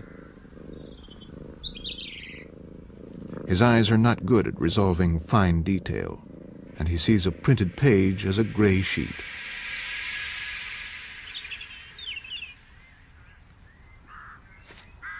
A cat sees the whole world a bit like someone who's lost his glasses. And a cat's not very good with color either. Cats have sacrificed detail and color to gain good vision at night. The cat's world of color is washed out.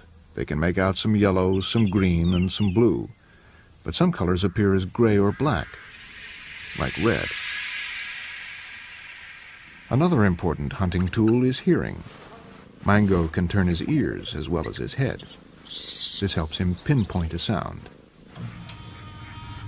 The funnel-shaped ears really channel the sounds they pick up, amplifying them like a megaphone.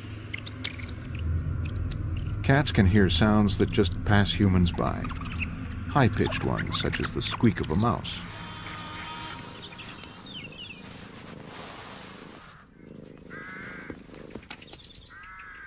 And when a cat hears that squeak, it needs to know exactly where it's coming from. The relative intensity of the sound in each ear automatically turns the cat's head in the right direction. A cat is also very good at spotting movement, but when it gets closer to its prey, the next sense it needs is touch. Cats, they may do it accidentally by leaving food outside restaurants or whatever. Once the cats realise that there is a regular supply of food there, then they'll aggregate around it and start forming a colony. And these colonies give us a wonderful way of studying cat behaviour because it, can all, it all happens in a fairly small area and we can watch it. Otherwise, it, it's just too spread out and difficult to find. For cats, living socially means doing things that their wildcat ancestors never had to worry too much about. For instance, communicating constantly.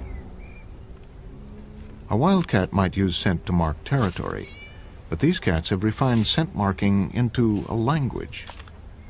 By spraying urine and using special cheek glands, they leave messages as distinctive as a voice or signature. Smell is highly developed in cats.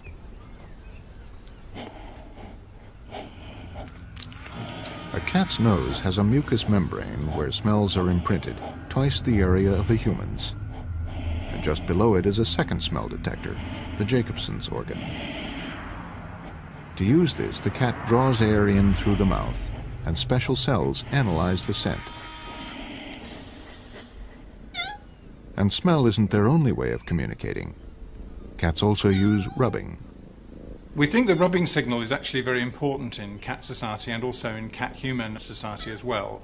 Cats tend to rub on other cats that are slightly bigger or fiercer than they are. So, for example, females will tend to rub on a tomcat that they want to show some sort of deference towards. What they're doing when they rub on us is acknowledging that we are slightly stronger and more powerful than they are. Uh, not necessarily superior, but, um, but just slightly larger, showing us some sort of deference so that they acknowledge that we're bigger, but they still want to be friendly. And then there's purring. Purring seems to be inviting some kind of attraction and also physical contact as well. So cats will purr when they're feeling contented and want another cat to come and sit down with them or, or their owner or whoever.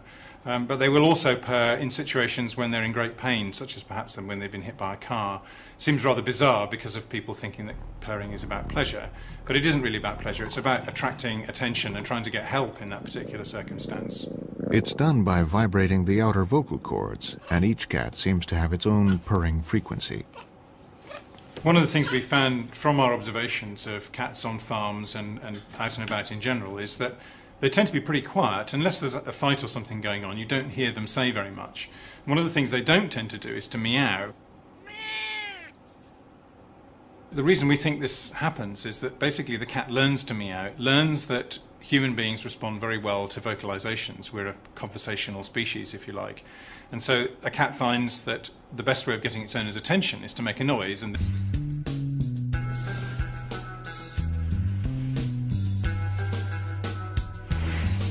Black, though, was the first new color to appear. Around two and a half thousand years ago, the Phoenicians were able to smuggle cats out of Egypt to use as mousers on their ships. And many of those cats were black.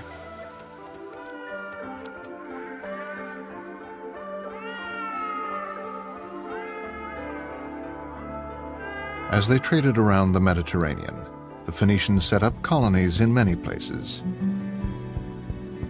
such as Carthage and Gades, now Cadiz in Spain. And of course, the black cats traveled with them. In time, cats were in residence all around the Mediterranean. The black cats that roam Venice today probably have ancestors from Phoenician ships.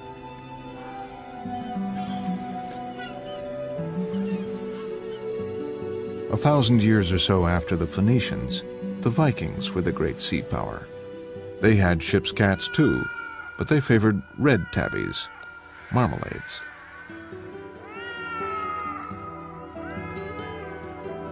It's a coloration that seems to have arisen in ancient Turkey, and the far-traveling Vikings carried red tabby cats from there to places up and down the rivers of Europe, and even to their Scandinavian homelands.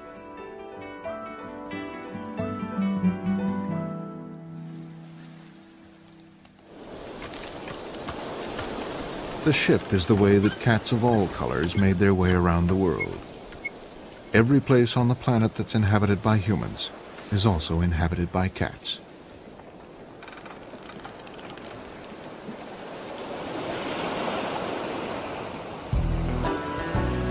And wherever cats landed, their lives became entwined with ours. This is Miami, Florida, home of one of America's classiest cat shows. These aren't average, randomly bred house cats. These are pedigrees, expensive contestants brought here to win their owners prestige and prizes.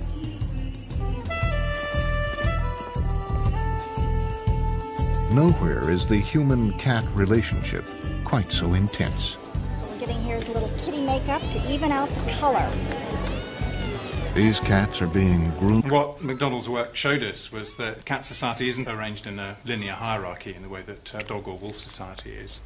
It's much more of a, an equal partnership, a cooperation between related females that gather around a particular site where there's plenty of food. And One.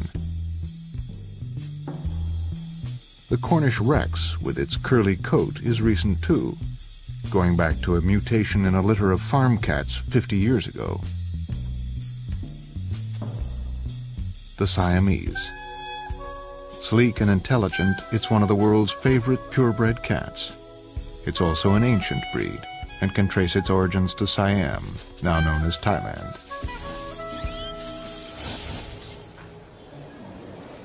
One of the most fun cats I had the pleasure of handling this weekend was this brown patched tabby. What I especially liked about this cat was this fantastic roundness to that head, short nose, rounded skull, and just such a beautiful, beautiful expression, even though she is a little on the wild side. best champion in show, best cat in show! Cats differ from almost every other domestic animal in that they aren't usually bred for any particular use, just to satisfy various human tastes. And when tastes change, cats change. A cat show a little over 40 years ago, and a Persian entry.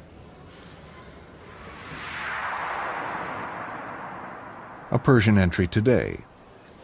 Fashion has now decreed that Persians don't need noses, and in the process of flattening them, breeders have created an animal with distorted tear ducts and eyes that continually weep.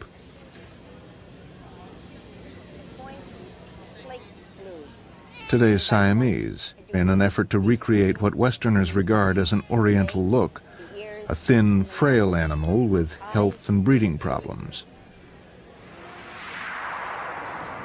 Forty years ago, a Siamese contestant was chunkier than today's, but still slender, sleeker, and more exotic than ordinary cats. Other modern variations on the Siamese. The face is no longer round, but triangular. And then there's this triumph of the breeder's art, the Sphynx, a cat with no hair. But these are the aristocrats of the cat world. On the other side of Miami's tracks, you find cats like these. They're feral.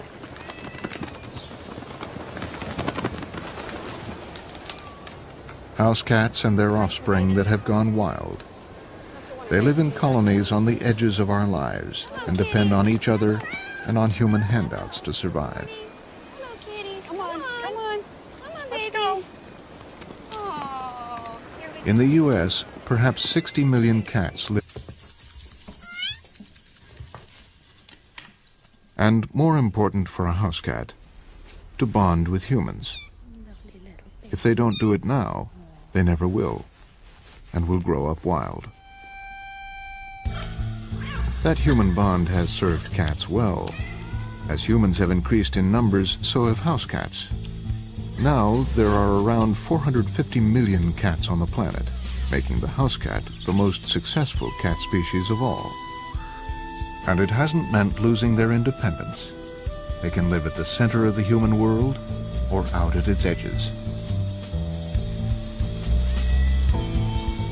A house cat still has all the physical qualities that its wildcat ancestors had. Their spring and agility.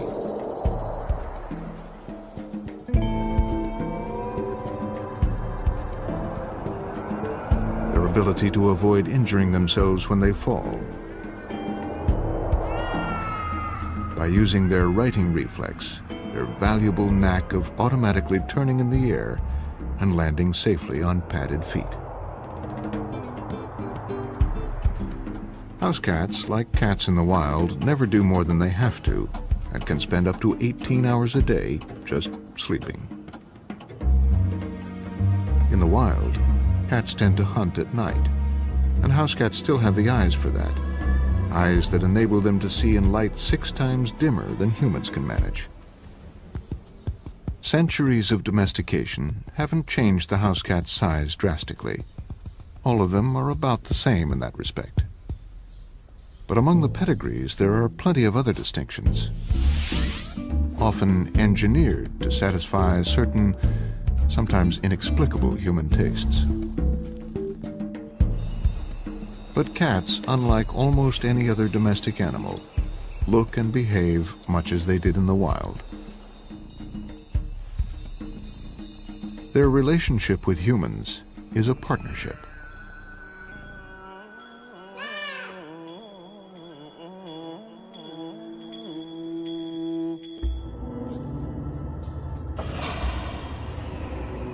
It's a partnership that can be traced back almost 4,000 years to one of the world's first civilizations, ancient Egypt.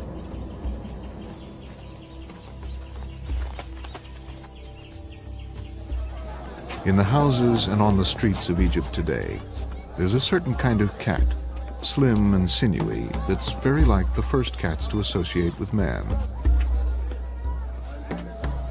These could be the cats that the earliest Egyptians bred and eventually even worshipped. And this... But by the age of three weeks, the kitten is up on its feet and walking, albeit a little shakily. But it is not yet able to walk up on its toes like an adult cat. This posture will take a while to perfect. But confidence is growing, and the kittens show the beginnings of an urge to explore and play. A week later, and the play's getting better.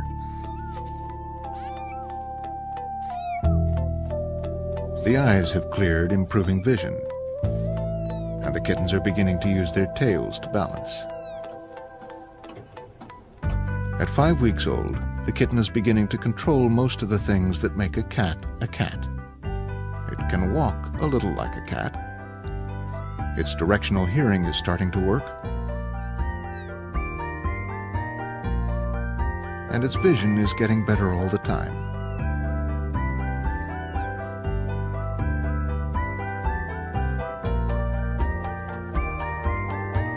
At six weeks, just walking isn't enough. playing and grooming are developing.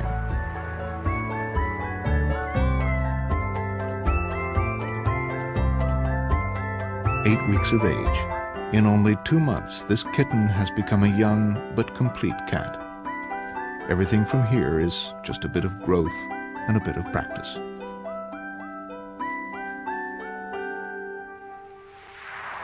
The pattern of development is about the same for all species of cat. House kittens, though, have one other important lesson to learn.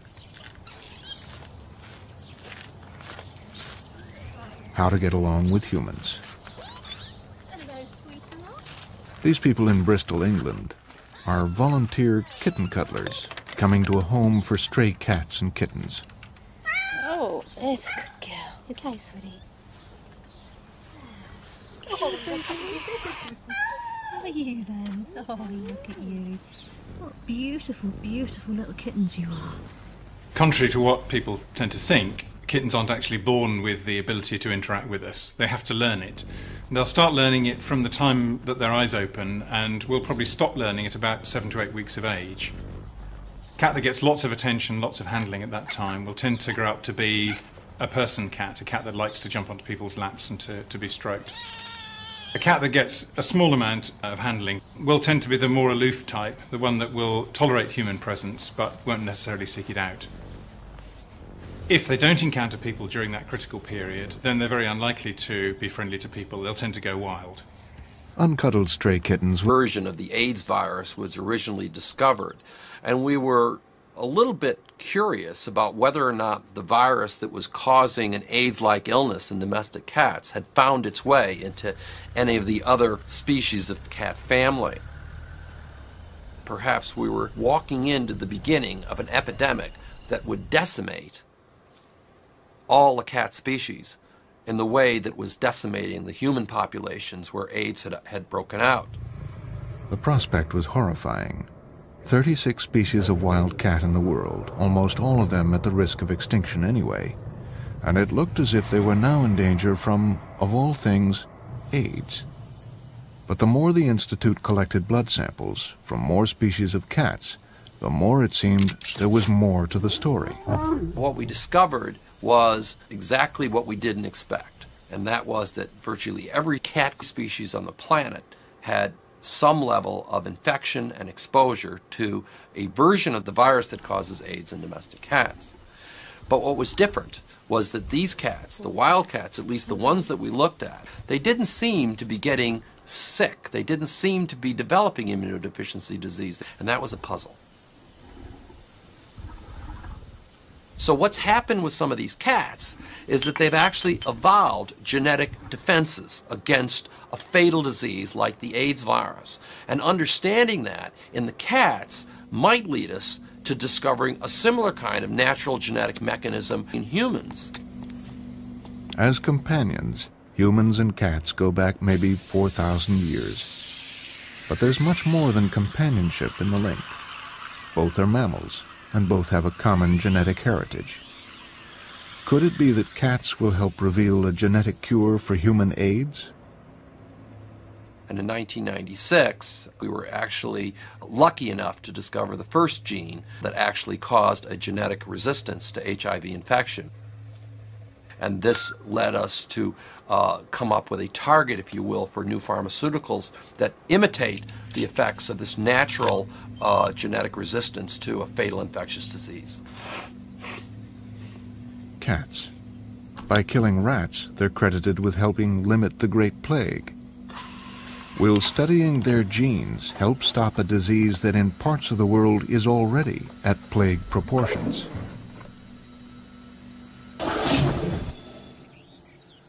Cats, after all, are our old friends. They came to us at the same time civilization did.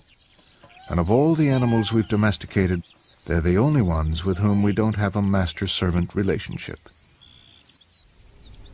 Cats choose to stay with us, and we live with them. And by the time the kittens are five months old, much younger even than this baby, they'll be adults. But for now, life is crammed full of adventures.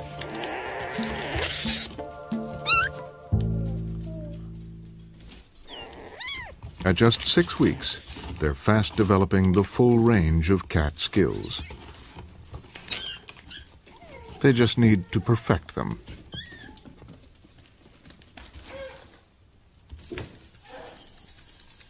The simplest of toys can be educational, helping to practice hunting, for example.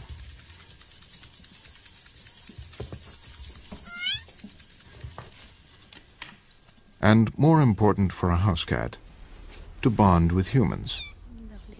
If they don't do it now, they never will, and will grow up wild. That human bond has served cats well. As humans have increased in numbers, so have house cats. Now, there are around 450 million cats on the planet, making the house cat the most successful cat species of all. And it hasn't meant losing their independence. They can live at the center of the human world or out at its edges. A house cat still has all the physical qualities that its wildcat ancestors had. Their spring and agility.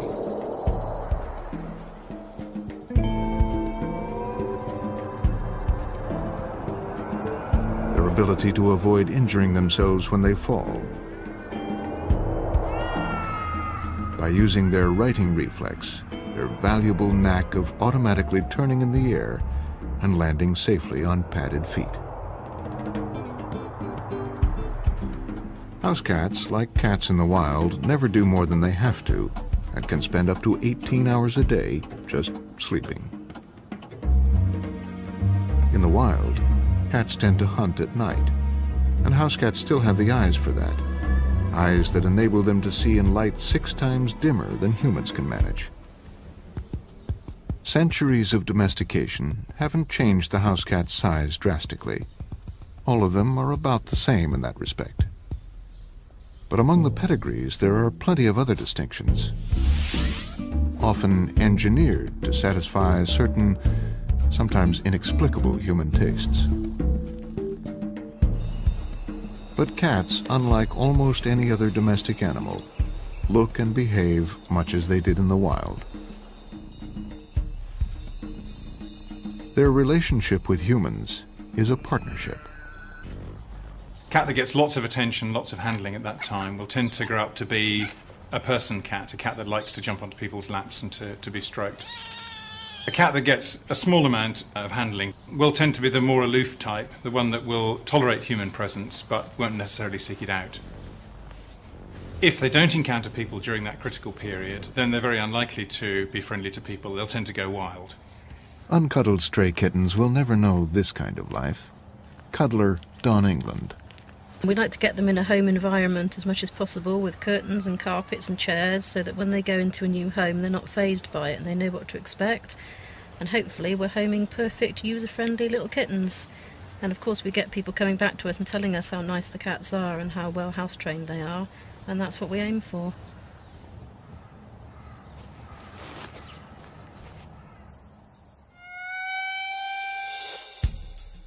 House cats are technically still the same species as wild cats. The two main things that make the house cat different are its social skills, with both people and other cats, and its color. In the U.S., perhaps 60 million cats live this way. Come on. The ones that survive seem healthy enough. It's just that a lot of people consider them pests and in some places they're exterminated. But groups such as Cat Network and Alley Cat Allies work towards a middle way to feed the cats, but also to stop them breeding. We'll go up north and feed the rest and then come back and get these quakes so we don't leave them on the beach. Okay? All right. All right. Good. Bye, kitties. Goodbye, babies. Some cities have feral cat neutering programs. This is Orlando, Florida, and the headquarters of the cat welfare group CARE. Connie Graham and Barbara Logan capture cats and take them to be neutered. I'm really after the friendly white and tan male. How old do you think he is? Mmm, about a year. There are a lot of people that feel that the best thing for feral cats is to put them down, to kill them. And that's what has been done for a number of years. The big thing with that is that it hasn't worked.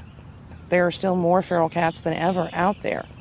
No one knows how many. It's impossible to count them, but estimates are in the millions or double digits of the millions.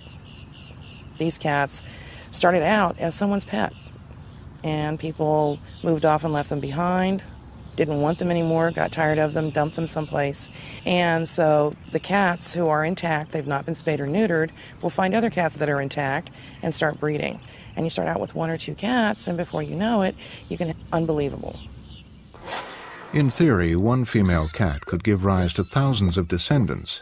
Of course, natural losses wouldn't really allow this, but it's in everyone's interest if the feral female doesn't breed at all.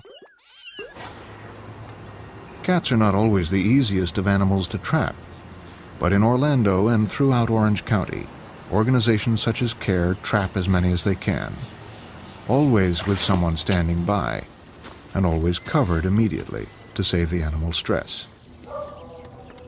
Then from all parts of the city, cats are taken to the neutering clinic. Even kittens. Hopefully, they will soon be found new and loving homes. It's almost an assembly line. The cats are anesthetized, prepared, and taken to be snipped. It is efficient and painless.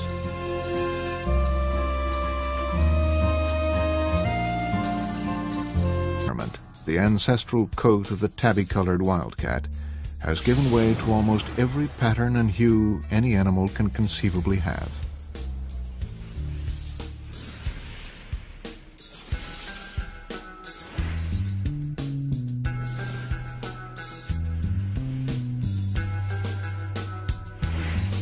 Black, though, was the first new color to appear.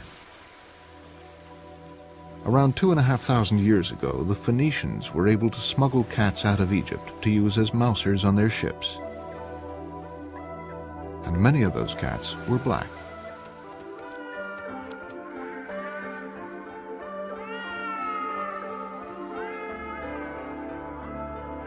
As they traded around the Mediterranean, the Phoenicians set up colonies in many places, such as Carthage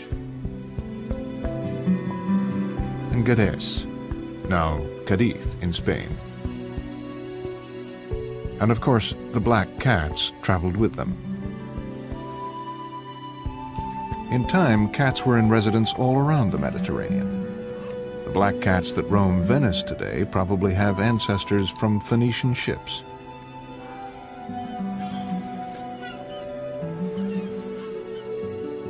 Thousand years or so after the Phoenicians, the Vikings were the great sea power. They had ship's cats too, but they favored red tabbies, marmalades.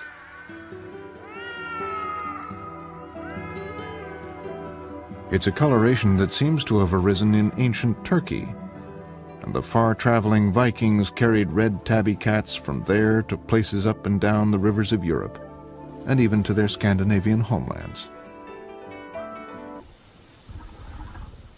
So what's happened with some of these cats is that they've actually evolved genetic defenses against a fatal disease like the AIDS virus. And understanding that in the cats might lead us to discovering a similar kind of natural genetic mechanism in humans. As companions, humans and cats go back maybe 4,000 years. But there's much more than companionship in the link. Both are mammals, and both have a common genetic heritage. Could it be that cats will help reveal a genetic cure for human AIDS? And in 1996, we were actually lucky enough to discover the first gene that actually caused a genetic resistance to HIV infection. And this led us to uh, come up with a target, if you will, for new pharmaceuticals that imitate the effects of this natural uh, genetic resistance to a fatal infectious disease. Cats. By killing rats, they're credited with helping limit the Great Plague. Will studying their genes help stop a disease that in parts of the world is already at plague proportions?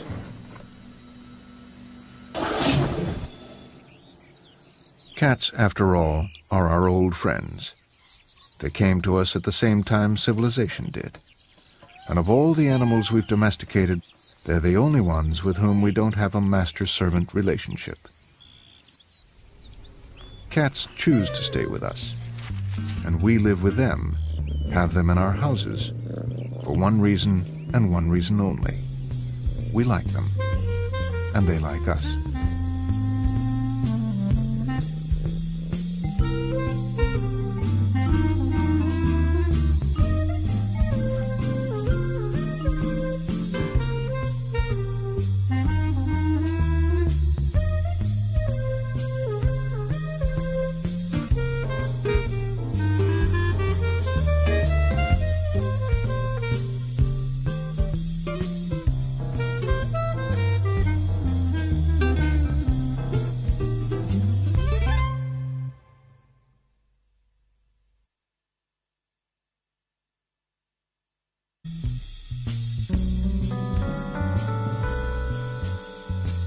Another long hair, the Maine Coon, from a cat that developed naturally in the cold New England winters. The Abyssinian is an ancient breed. Even today, these elegant cats retain the look of the first cats to associate with man. It was a natural mutation that shaped the Japanese bobtail, but now it's a thoroughbred. Cat that gets lots of attention, lots of handling at that time, will tend to grow up to be a person cat, a cat that likes to jump onto people's laps and to, to be stroked.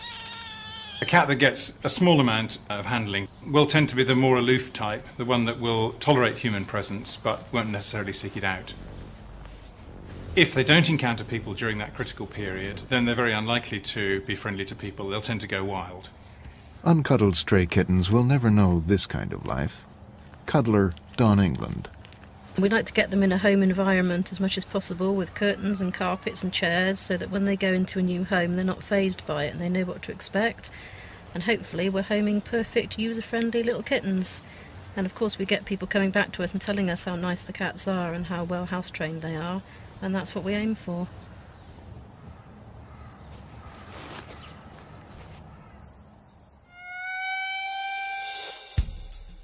House cats are technically still the same species as wild cats. The two main things that make the house cat different are its social skills, with both people and other cats, and its color.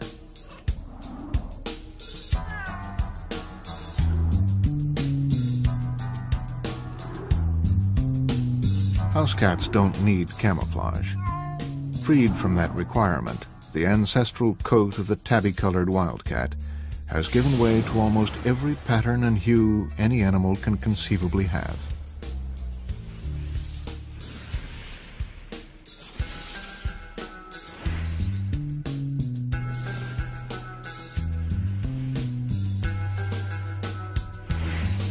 Black, though, was the first new color to appear.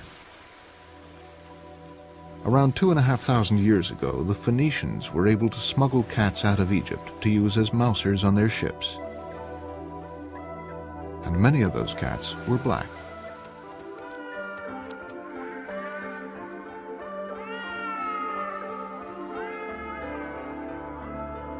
As they traded around the Mediterranean, the Phoenicians set up colonies in many places, such as Carthage and now Cadiz in Spain. And of course, the black cats traveled with them. In time, cats were in residence all around the Mediterranean. The black cats that roam Venice today probably have ancestors from Phoenician ships.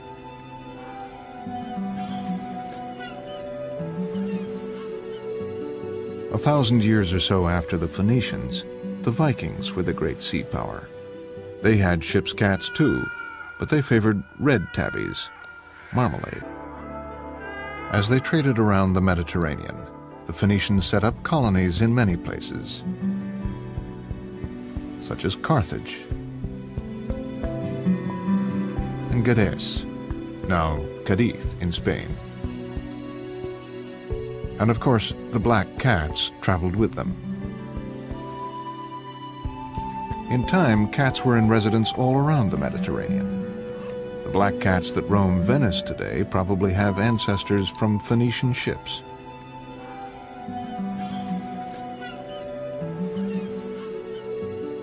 A thousand years or so after the Phoenicians, the Vikings were the great sea power.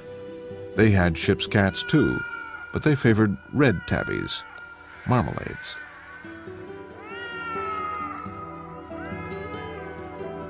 It's a coloration that seems to have arisen in ancient Turkey, and the far-traveling Vikings carried red tabby cats from there to places up and down the rivers of Europe, and even to their Scandinavian homelands.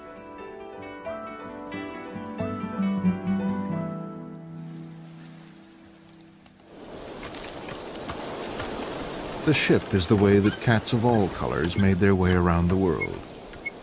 Every place on the planet that's inhabited by humans is also inhabited by cats.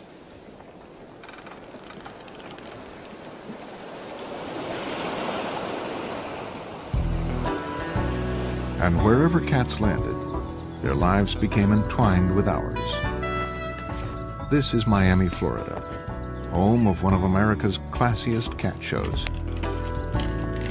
These aren't average randomly bred house cats. These are pedigrees, expensive contestants brought here to win their owners prestige and prizes.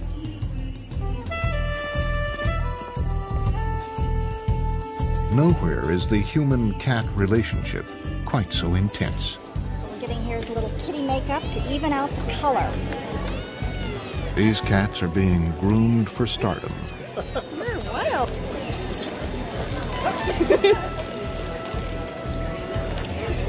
He's such a beautiful boy.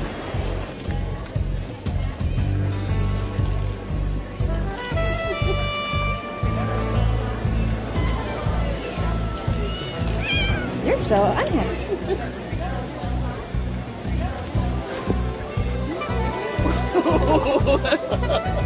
Cat shows have been happening for just over a hundred years, and lots of the modern breeds of cats are a direct result of them. Many cat breeds are variations on types that developed naturally and locally. A Chartreux, exposure to a version of the virus that causes AIDS in domestic cats. But what was different was that these cats, the wild cats, at least the ones that we looked at, they didn't seem to be getting sick. They didn't seem to be developing immunodeficiency disease, and that was a puzzle.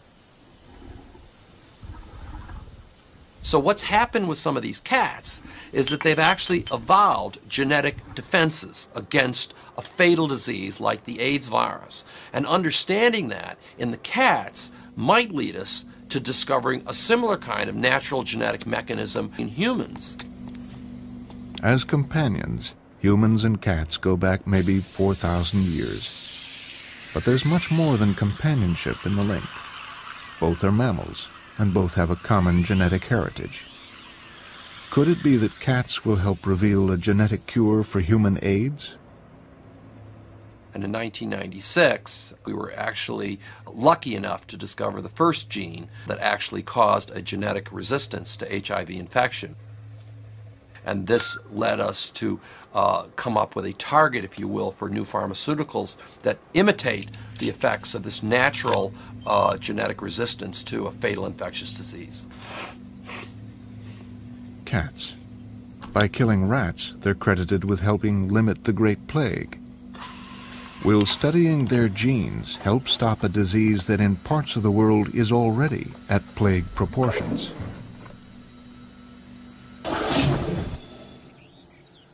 Cats, after all, are our old friends. They came to us at the same time civilization did. And of all the animals we've domesticated, they're the only ones with whom we don't have a master-servant relationship.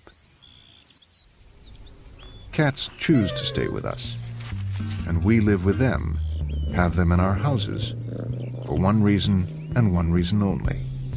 We like them, and they like us.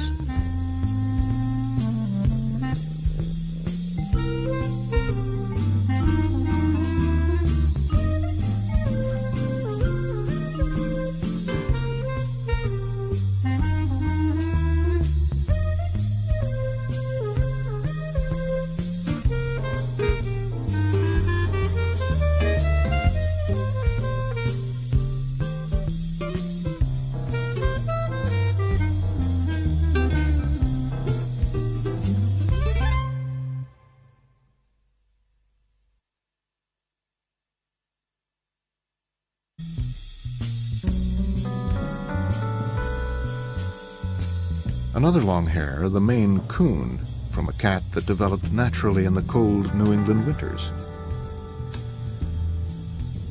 The Abyssinian